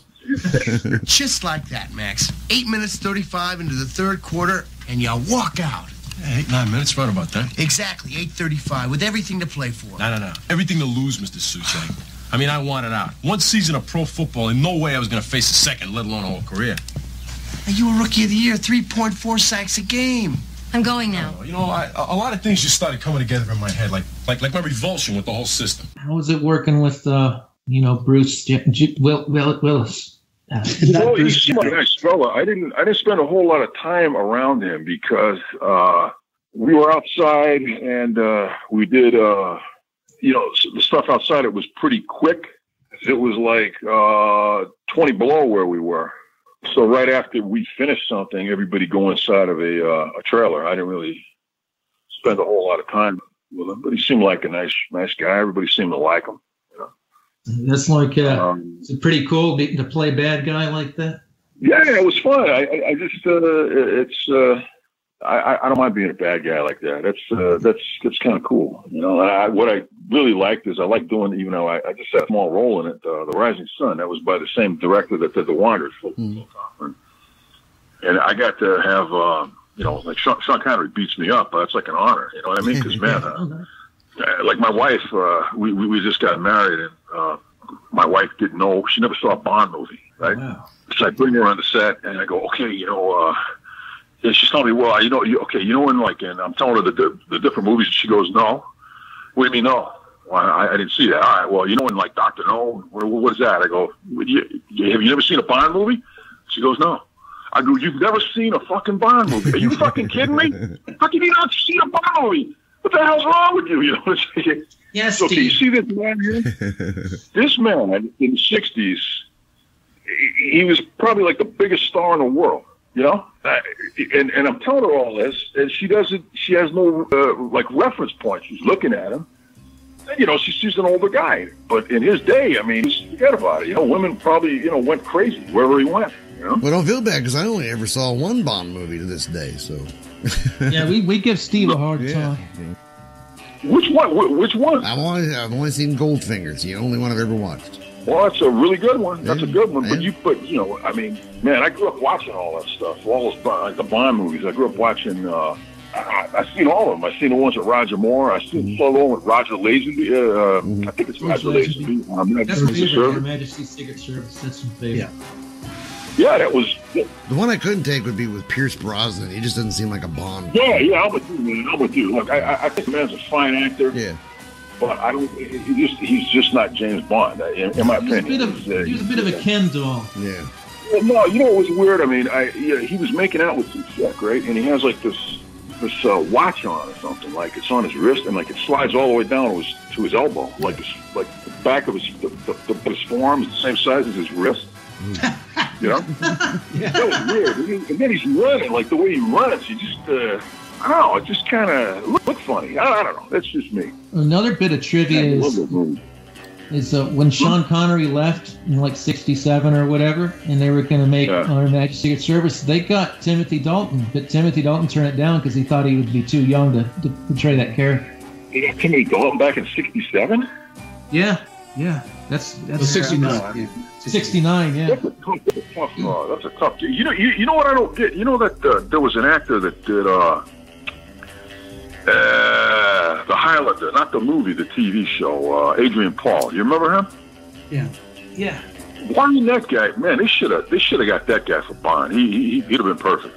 Yeah, what do Don't you think? I mean, he, What do you think of the new one? Uh, the, uh, is it uh, Daniel Craig? Well, I just think that I, I think that this is just you know you know my opinion and five cents will get you yesterday's newspaper, but uh, for me, I mean for purely entertainment purposes, I think the guy does a good job with the action and all that other stuff. But I think Bond is something like some kind of smart ass quality that Bond has. You know, where he's It's not suave. he- he- it's like a charisma thing. Like he's charming and he he knows how to talk to chicks and all that kind of stuff. That's part of Bond. You know what I mean? I, I don't. Th- I think he's a little flat on that. That's just my opinion. I, agree- I agree totally. Mm-hmm. I, I think he does the other stuff really well, and it's the action's great. But but, but Bond Bond does more than that. Otherwise, it would be the whole thing would be a stunt match. Because he he the way he Right. talks to people, the smart ass remarks, uh, stuff with chicks, how he's with how he's with girls. That's I mean, if you had a choice, right? Somebody said to you, "What would you rather be, Superman or James Bond?" You'd have to think about that for a while, wouldn't you? I'd rather be Superman. I'd rather be James Bond. What? So, I don't know. I mean, but okay, why would rather be Superman? Let me hear. Oh, okay, I don't know. James Bond can't do all that stuff Superman can do. Yeah, but then Superman goes and balls some chick, and, you know, but it, you know, he shoots his wad, he probably knocks your head right off. So what the hell good is that? what the hell good is being Superman if you can't get if you can't get chicks? I mean, you know, So he didn't have any problem with Lois that's, Lane. that's not part of the whole Superman uh, thing. Like you, you can't be, you can't go around, you know, uh, you know, scoring uh, with chicks because it's not Superman. You know. Well, you know, James Bond is more romantic type than uh, Superman was. So Well, yeah, but I mean that's my point. But I mean, he, yeah, but I mean, but, but what's good at being doing all that shit? You can like lift buildings and shit, but you can't, uh, you know. well, yeah, that's true. I guess. Lois Lane's the only one that he can. Never mind. I, I do notice something about James Bond movies. It's like it's like they must have this round table of writers, and a lot of them come up with these great, really great ideas, and then you got this one. A round table, right? Like the like uh, like the fucking uh, the Algonquin round table, right? To figure out the Yeah, change. but, but then you get you know, this writer. You know, let's put a slide whistle when the card goes to flip. You know, it's like I don't know, man. Yeah. I don't. I don't know. I, I, I, I- I just think that you know, given it to, I think most guys would, would have to think about a while about telling. What would you rather be? Well, you're Superman. You get to fly and like you know lift buildings and like kick the shit out of just about anybody you want. But then you know you know, this is good with uh, with uh, girls. You know you can't really. Well, when it really, comes to uh, getting girls, when it comes to getting girls, I guess yeah, I'd be Bond. I guess. Like, and I think Yeah, it fly, flying around and lifting up cars, it's to me that would get old after about a day. Yeah, maybe a week for Well, me. yeah, but you could do more than that. Like you could walk someplace. You know, you could do whatever you want. Nobody can stop you. Think think about it that way. They, they can shoot at you. It's not going to hurt you. Yeah. Unless, unless there's Krypton or something. Yeah, I was gonna- you know what I tonight, mean? yeah. Right, Kryptonite. Why would they? If this is your weakness, why would you fucking broadcast it to everybody that this is your weakness? I mean, I understand the reasons for it in the story, but it's like, why would you go? Oh yeah, you know, see this here, this green stuff. Yeah, it uh, it doesn't do me any good. Why would you tell people that? You know. Well, I was say- I was saying that- Yeah, I was thinking that too. They, they'd shoot at him and he'd just stand there, and then they'd run out of bullets and they'd throw the gun at him, and he would duck. Oh, what? I didn't. I Oh, okay, okay, okay. Here's something too. It's like the actors that play, the actors that play Superman. It's like this guy's really strong, right? So like you see him, like in in the um the Christopher Lee, uh, uh not not Christopher Lee. Uh, what am I saying? Uh, uh, um, Chris Reeves. Yeah. He he's you know he does that thing where he stiff arms the helicopter in the first Superman, like you know he's saving Lois Lane. And the helicopter's going and he sticks his hand out, and he's he, like he like he stiff hands it like nothing. He's holding it. Yeah. You know, and he's looking at Lois Lane like, hey, man, ain't that cool? You know, he's just like floating there, right? He puts the fucking thing down, and then later on, he's like trying to pull up his sock, and he's straining. You know what I mean? Like, like nobody's thinking that. Just fucking stiff on the helicopter, and now your fucking sock is wrinkled, and you bend it over. You got this strain on, I'm pretty looking in your face. What the hell is that? See, I'm doing what you were doing before, you you know? but Well, at least Superman didn't have his balls hit with that cat o' nine tails or whatever. What was it? Um, Remember that? you didn't have the what? Remember that he was being tortured and that guy was hitting his balls with some kind of thing. Torture. It was in the casino. Casino Royale. Royale. Yeah. Yeah, which one was that in? Casino yeah, Royale. Casino Royale, the first one with Craig. They were like torture, hitting him with something on his balls. It's like Oh, at least Superman. about- oh, yeah, yeah, yeah, yeah. Well, I don't know. Maybe they're trying to duplicate that thing with James Bond, where in Goldfinger, where he's he's got the he's laying on the table, and the laser the laser's going right at his fucking dick, and it's it's, Oh, like, yeah. it's moving toward his dick. He goes, he goes like, you expect me to talk? And he goes, "No, Mister Bond, I expect you to die." The thing going right toward his nuts. So my wife, you know, she thinks I'm crazy because I, I like I keep watching these movies, you know, and she goes, "How can you watch that stuff over and over and over?" No, I just like it. So They had a, they had a lot of silly moments in Goldfinger that I don't get. Like what? When they took, well, the- when when uh, Goldfinger was had all those those uh, bad guys over, and he you know was showing them like what what what is this, Mister Wonka? I mean, uh, Mister uh, Goldfinger. Oh, you mean the And he mob guys? up- he had the he had the mob guys in the, in the, in his little area. He was explaining the whole process of how he's gonna uh, Yeah, move all so the gold one- in Fort Knox. Well, the one guy doesn't want to do it, so instead of taking them back and shooting them, they do this elaborate thing where they put them in the trunk and take the car to the dang crusher and do all this stuff, and then uh, then they just he goes around and kills them anyway. And it's like, what are you, what are you doing? It's like You spent all that time explaining all that shit to him, and they just killed him. yeah, and then, and then plus they got this five thousand pound Lincoln that they crush into a cube and they put it in the back of a little Ford Falcon Ranchero and it doesn't do any. It's like what? It's still five thousand pounds. I think too much into stuff. But you got to you got to allow some. You got to you have to have some suspension of of uh, uh, you know disbelief to enjoy these films. Oh, Well, you got to like old woman, you know, the skin suffocation, you know, and all the going. Oh, the girl with all the gold painting on her. Yeah, I mean, you got to have. Well, I think that's possible though. Like if there's a certain kind of uh, uh, paint, I think you can get uh, uh, deathly ill from it. I think that's what happened to. Um, you, you know the movie Wizard of Oz, right? Uh, originally, uh, Buddy Ebsen.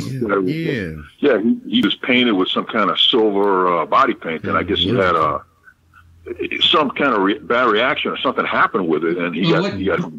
What it was is they had it in a powder and he inhaled it. and It got in his lungs. So then when Oh, the, yeah. the new guy came, they hit, they put it into a paste and it was okay. Didn't it? Oh, I thought his skin was allergic or something. No, he, he That's what I heard powder. too. I heard that. I heard what you just said. The skin, like it, like when they when they covered his skin, it, they cut, like his skin didn't breathe right or something, and it uh, like it can almost kill them. I, I don't know.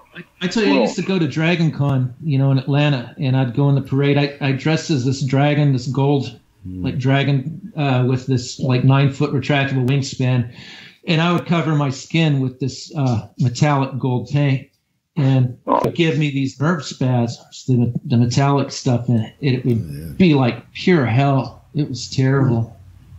You know, so I can, I can, it can mess with you, especially the metallic stuff. You, Oh, you like all that? Uh, you like all that sci-fi stuff? What do you think of uh, the writer Robert E. Howard? Do you remember him? You know, know any of his works? Not really. I just like to dress up and make a fool of myself mostly. yeah, he's good Oh, at well, that. see, I don't have to dress up to make a fool out of myself. I just gotta leave, leave the house. Say, hey, I'll do Well, you something did on stupid. Porky's too. It's You- not- they, had you, a- they had you dressing up Huh? like a chick in the second one. Yeah. As I reminded uh, my fellow actors, you know, the reason this is funny is because it's me dressing up this way. If it was Yeah. you, nobody would notice. so that was my that was my reaction to that one. You know. Oh, I Yeah. thought it was uh, fine. I, I, I Oh, thought it was fine. You know, it, it's like no, you know what was fucking weird? I mean, the the the the uh, they they put these eyelashes on me that uh, Mm-hmm. they glued them on with some kind of shit, and like the eyelashes, uh, the eyelashes are heavy for your eyelids because your eyelids aren't used to lifting anything but their own weight. So it's like you got little Yeah. weights on your eyelids, and eventually you get tired. Like your eyelids get tired, you know, from opening your eyes. And I, I remember asking uh, the makeup lady. Her name was Marie Del Russo. She, this lady was pretty cool. She dated Elvis. Well, no, she didn't date Elvis. She dated Frank Sinatra, but she worked on uh, Elvis pictures. This, she was really like a knockout when she was young. Yeah. Anyway, she, she was telling me about this different makeup and stuff they have. I says, listen, you have any of that old makeup that, that the actresses used in the 40s? Like it's, um, uh, you, you, you put it on your mouth and it doesn't run like when you eat. They had this this stuff. Now they, I guess you can buy it, but back then you couldn't. Uh, in like in, in, in 1980, whatever that was, they, they didn't have anything like that. But they had it in the 40s though. She says, I have some of that, and it's like you you paint it on. So she would paint. She painted my lips. You got to use this shit to take it off. This way, when you eat, right, the, you eat like a donut you have coffee, the shit doesn't come off all, all over every place. Hey, it's really hard being a chick, man. I can imagine. They gotta they shave their legs, right? They shave their armpits, shave Oh, their yeah. stuff. They put on lipstick. They put they do their hair. They do all this shit just to walk outside. Oh yeah. And then, it, it, it- you know, I mean, I mean, fuck. If I was a chick, nobody date me, man. I'd be one ugly son of a bitch. I'd be hairy and fucking smelly, and I wouldn't skate. I wouldn't do anything. I'd be looking. You'd be a hippie. Yeah. No, I, no, I wouldn't be a hippie, but I'd be, I'd be something nobody'd want to date. That's for sure. No, I- That's what the comedic value was about having you dress up like that, though. I mean, it was it's something you don't expect, and it was hilarious. Well, it's funny when certain people do it, like, but certain people, like I say, like I'm saying it to these guys, like some of our guys, it's like, well, hey, dude, you know, if you put on a wig and a dress, nobody will know. I mean, nobody's gonna really pay any attention. They'll- They'll think you're a chick, you know. So it's not, it's not uh, putting the stuff on. It's just who who who, who puts it on, you know. You say like if Roger Wilson had gotten dressed up, it wouldn't have worked with him. Well, I know, Roger, Roger Wilson. I don't know, but I mean, uh, I don't know who was who was the person. It was probably Wyatt that was making fun of me. Was it? Okay, yeah. Wyatt always made fun of me. He, he just uh, he just was a ball breaker. He, he constantly broke balls. Yeah, he was a good guy. Yeah. It kind of reminded me of uh, of, of uh, Jethrine. Remember that in the early Beverly Hillbillies with Jethro would had his sister Jeff Oh Green. well, yeah, that was that was. Oh yeah, what were they thinking, man? That was. I thought No, Jeff you Green was kind of hot, but that's never mind. Yeah. I've said too much. Well, okay, uh, that man, you know, Max Max Max Baer Jr. Max Baer Jr. He's a Yeah. big dude. I've seen him Oh, in one of the, yeah. the autograph shows that we that we that we do. Mm-hmm. He's a big dude, man. Yeah, He's he- big. He's a big he was guy. a big He guy was- back then. Yeah, he don't look much like a. Uh, he don't look anything like a woman. Uh, that's uh, that's for shit sure. Yeah, I know? said too much. You know, how about that tow truck? How'd they get it to dance up and down in the? Okay, never mind. well, they had a whole bunch of things where it was tied on to shit, and then they had different shots of it. it You know, it didn't really pull it. The thing that was out in the swamp, what they built, was just built on a frame, like a uh, like a like a framework. It was just an, an exterior. The, the inside, there was nothing in it. The interior of Porky's was filmed in a bar and in in, um, in Miami, in a bar that was closed down. So the shots you see, they just tied that on something, and it meant you know the the, the truck and it went up and all that kind of stuff. And yeah, yeah, you know the movie has its errors, like you hear uh, at the end of the movie when Scott Colomby, the guy that plays Brian, he's driving out of the parking lot with Cyril O'Reilly. It's like he shifts into like yeah, he shifts like eight times. Karen's like, mm, mm, mm. how many gears is this thing? Like it's got some super transmission in it that nobody knew about back then. Yeah. I didn't. even- Yeah, that was. Uh, Yeah. So they just they must have made Porky's just out of a bunch of just like little plywood pieces and stuff, huh? Yeah. Tin. The, the outside of it, yeah, it was just bare bone. They, it was like a like a tubular metal frame. The the the, the structure, and they just tacked that stuff on. The, the stuff that was expensive were the neon signs. Uh, the get it at Oh, Porky's. Those signs, they were expensive, and they were uh, destroyed in the in the. Uh, Oh. You know when the when the, uh, the the the building was pulled down, Yeah. it was destroyed. That was expensive. Yeah. Then they had to build new ones for the riverboat. Yeah, that would have been collector's items. The, I, I would ima- I would imagine it would be. Yeah, the riverboat. I guess there was a whole different setup because that was uh, all uh, uh, destroyed. But the interior of that uh, boat, uh, where where did we do that? I'm trying to remember the interior. Oh no, they used they they used the boat, uh, the boat itself. They did use the boat because I remember that. Uh, I mean, for the interior, that it wasn't uh, done separately. They it was like a hundred. I don't know. It was like 120 degrees in there. They, they, they, they, we did some shooting during the day, and it's supposed to be a night shot, so they cover all the windows, and then there's like all these people in there, and it's summer, and it's hotter than fucking there, man. you, Oh, you know, you, man. you're sweating like it, yeah, and it- and it's oh boy. The one thing about Florida, I just I, I can't used to the, the heat. I'm not a heat person. Yeah, I'm the same way when I live here. It drives me. I hate the summertime here. It's like keep me in the Oh, air God. conditioning. I'm the opposite. Well, I you- like the, I like the But what's the point? I mean, you got an air condition, but you're inside, right? So you take a shower, Yeah. and you're all clean, and you go out. The mo- moment you step outside, you you, Yeah. you, you your shirt stuck to your skin, and then you get in a in a car, and the car's air conditioned. You get out of the car, you sweat bullets. So by now, like you already stink. You, you've been out like 15 minutes, and you stink like you know you stink like some whole bum. It's like, hey, what's the why? Who am I kidding? Why am I taking a shower? I mean, after why 15 bother? minutes, who's gonna know? I'll, I'll just I'll just fucking leave the shirt on I had on yesterday. What am I gonna do? Offend somebody? You know? and those bugs you guys got, those no seams. Oh my gosh, they're they're terrible here, and they bite. They bite the crap out of you, and they're everywhere. they're what is they're, here, they're here until the summer, and the mosquitoes eat them. But then you got the mosquitoes that take their place. Yeah, man. When we came down on the set, the the the the, the, the fucking mosquitoes were warming up like a bunch of fucking uh, you know B seventeen bombers, man. They were warming up like waiting for us to get there. You can hear them like you know, and uh, I heard all kinds of shit like what what's away and like. Uh, they, they were saying that skin's so soft. If you put that on, it uh, it keeps them away. Oh wow. I hear that, but then I don't have any Avon ladies out in this area. I live. so- No, but we went to the makeup people that have have all that, you know, those uh, creams and all that kind of stuff, you know. So you put it on, and it, it, it didn't do. It was like a cocktail, man, for for them. It's like they they they're having like a, like an aperitif before they dine, you know. Only thing that works for me, it's hundred percent DEET stuff. It, that keeps them up. That didn't work. We used that. That was like you got that. That was man, man to them. That was like drinking Tab or Fresca. That shit, man. Before they were, the, the only thing that worked. I, this, this was true. I had a buddy of mine that was a ranger, an army ranger, and he uh, he had been in, in jungles and things like that. And he he was telling me that uh, you know the army has a some kind of a uh, mosquito repellent that they issued. He says, but none of that shit works. He says, what guys would do is he says they'd get a book of matches, like paper matches, and they would suck the sulfur off the matches. And uh, he, as he's telling me, like as he's telling me this, we're in a truck, right? And uh, I'm, I'm talking to him, right? And I got a, like a cigarette, and I'm listening to him, and he goes, "Okay."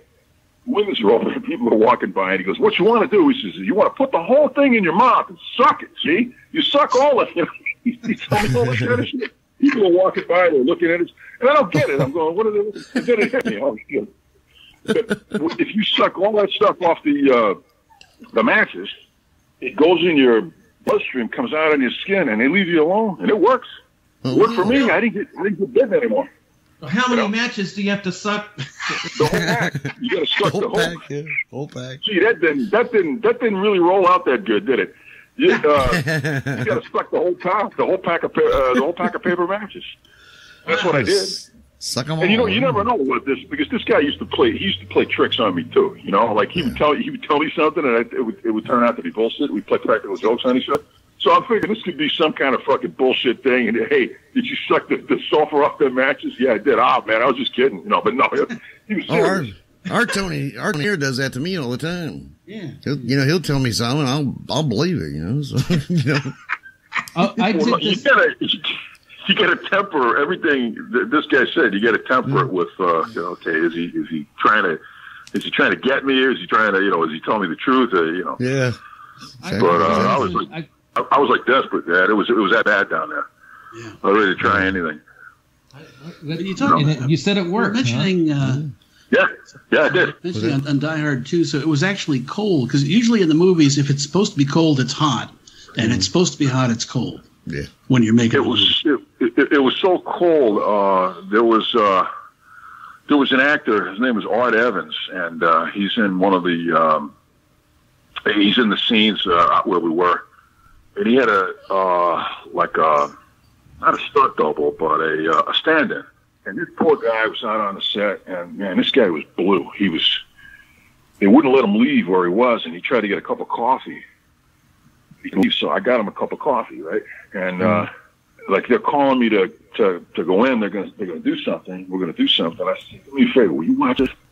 So I gave him my cup of coffee. I came back like maybe a minute, two minutes later, and I went to drink the coffee, and I got smacked in the nose by a block of ice. Like the whole top of the coffee froze. Oh, yeah, that's how, that's how cold it was. But I like the cold. I was okay. I had a, like a t-shirt on, and I had a little uh, plastic jacket. I was okay for like basically the whole day. And when it was time to go home, I, I like I started to feel it. Wow. You know, and uh, I just went. I went home and I went my well my, my hotel room and I just took uh, got some coffee, put a little put a little bit of brandy in the coffee, and I was good to go. Oh, wow. You know, Humidity is something else because uh, it makes. I mean, if it's 80 degrees with uh, with the high humidity, it, you, you know, you, you feel like it's like 120 degrees.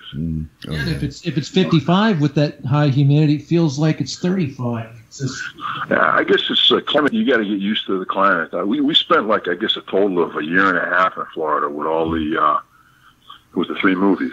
You know, we spent like a year and a half together. So uh, What did, did you make there. them all at once, pretty much? Well, the, the, No, no, no, no, no. We didn't make them all at once. Uh, we made one, and then like uh, we made them over the years. They were going to do a fourth one, but that didn't that didn't pan out. Oh.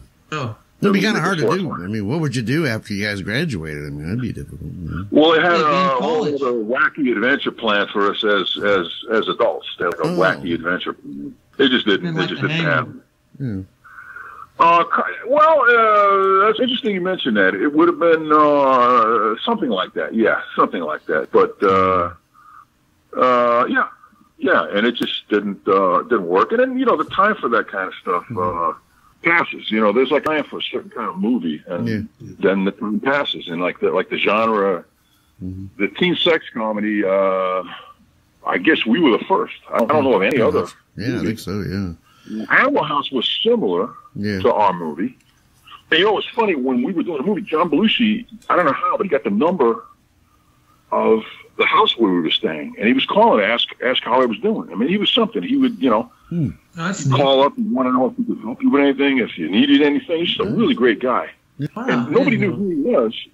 Um, he wouldn't tell anybody, you know, and he would he would talk to somebody like and get him on the phone, and they talked to him for like an hour. Wow. Um, and like Tom, you know, um, he got my mom on the phone once, right? Uh, we were in Colorado, and he's he's motioning me like to give him the phone because he had the keys to the production office, so he would be going there and make long distance phone calls. So I'm talking to my mother. So he he motions over there. He he would get the keys. He goes, you know, to the phones, man. You know, like we call all over creation, you know. So my mom goes, my mom's talking to him. And talking to him for a long time, and he gives me back the phone, and he's sitting there, and she goes, "Who is that?" Well, mom, that's that's uh that's John Belushi. Who? He's a comedian, mom. He's on Saturday Night Live. What what what, what is that? Who? What, what the hell is that? And he's dying. He's he, he, he's just laughing his ass off. You know, I'm trying to make my mother explain to her who he is. She didn't have a clue, but she was. He, she found it interesting enough to talk to him for like like like a half an hour, an hour. She was just on the phone talking to him. John's really seemed like a funny guy. I would have liked to have met him. You remember all the skits he did on Saturday Night Live? He remembered all the lines. I, I, I don't know how he did it. He remembered the lines. He, he said to him, "Hey, do that stuff. Uh, you guys are. Uh, you remember you guys were on that pirate ship, the Raging Queen. Hey, do that. Do that. You know, he knew the dialogue, the whole fucking thing. He would have you rolling just just from the from the. I go, how the hell? You know, how the hell do you remember this shit? Yeah, really. Because you've done so much of it. How could you possibly remember? But he did. He remembered it all. I bet you know? couldn't recite. Incredible. So you probably couldn't recite any lines from Porky's. No, I honestly, I can't. I, I, I can recite. You know what's stupid? I can recite lines from other movies, but I can't recite. I, I don't remember the lines from Porky's. I don't remember the, the, the lines from. How Uh, about how about uh Princeton? They fucking suck. how about how about what? How about what? Was it Princeton? It fucking sucks. Okay, but see, that was something else because some of that, stuff- some of the, you gotta understand, some of the lines in that movie we supplied ourselves. They weren't written, they weren't scripted. We just threw them in. Some of the scenes that you see, uh, some of the stuff that we did with the, like the egg scene in the beginning where Dan Monahan's breaking the egg and all that, we, we got an idea, right? And we would go to Bob and we would say to him, "Hey, Bob, you know, we got this idea because something in the script was there, and like when we tried it, it didn't really work like it was scripted. Like if you read it, it seems funny, but then when you actually do it, it isn't. So Yeah. we go, "Hey, Bob, we got this idea," and he go, well, "Okay, well, you know, um, you know, let me see it." He would never, he would never ever go, "No, I'm not interested in it" or anything like that. He would always let you show him what what you had because maybe you know, there's a chance that it was good. Yeah. And some of the stuff we showed him, he goes, no, no, no. But some of the stuff he, he let in. So he, he actually filmed it. He got angles on it. He filmed it in that, one of those things he had uh, seen. And uh, some of the other stuff, a lot of the lines, we just threw lines in. We just made up lines, and they, they stayed in the movie. Some of them didn't. He didn't like them. If we said something that was off or something, he didn't think uh, was, that was part of the character, he would uh, he'd go, no, no, no, no, we don't want that. Don't uh, don't say that. Don't don't say this here. You know. So It seems like it's, it seems like it's really good, and they'll let you, you know, give you a little creative license and do a little thing. Yeah, it's pretty cool. Yeah, give you a well, little Bob room. wasn't. Uh, he wasn't above.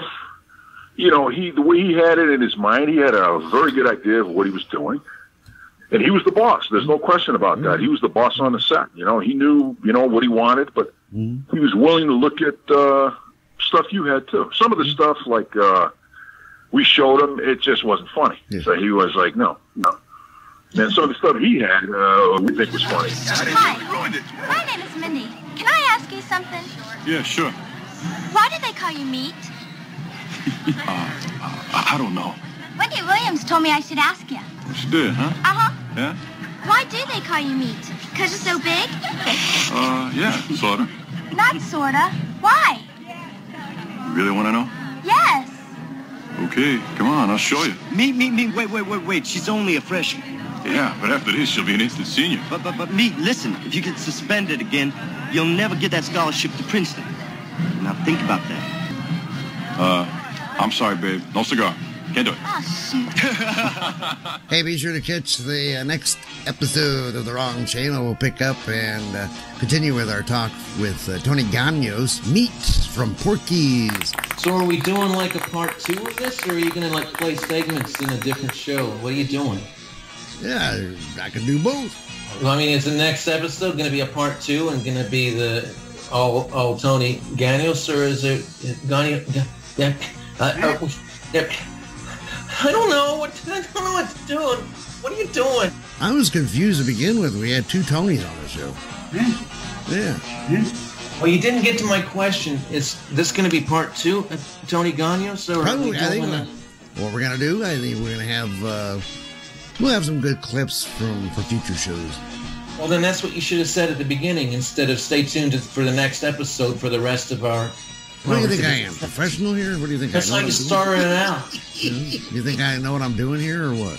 Well, no, you, you, you got Tony listening to it, and then he's going to be thinking, okay, you know, I've got another one to hear, you know, and then maybe he'll shut it off right there, and then he'll be expecting it next week, and then it's just going to have a certain clips of, of Fine. Join us next time on the wrong channel when we'll play pieces of the Tony Ganios. Well, what we had pla- practiced is that you were going to say, "Stay tuned for the stay tuned to future episodes of the Wrong Channel for more uh, of more moments with Tony Donnie." Who died and left you, director? I'm just saying what we agreed on before you started recording. Are you being Terry Summer now? Or are you don't don't hurt my feelings and stuff? What do you expect from a cartoon character? Jeez, now you're being all uh, uh, what do you call it? Dimensionalist. Well, you're the one that thought Tony Ganios was going to be Meathead. I that was because I had a bad connection with uh, what's his name, D- Dull. Stay tuned to the wrong channel. We'll have uh, future. Fuck. Stay tuned to future episodes of the Wrong Channel. Why don't you say it? You try and say it. All right. Here you go. Stay tuned for future episodes of the Wrong Channel with more moments with Tony Ganios. So if if you if you've enjoyed what you've heard, there's more of it, a, a lot more. And help me out, Steve. I don't know what where to go with You're, this. you're saying better than I did. Yeah. Okay, fine. Fine.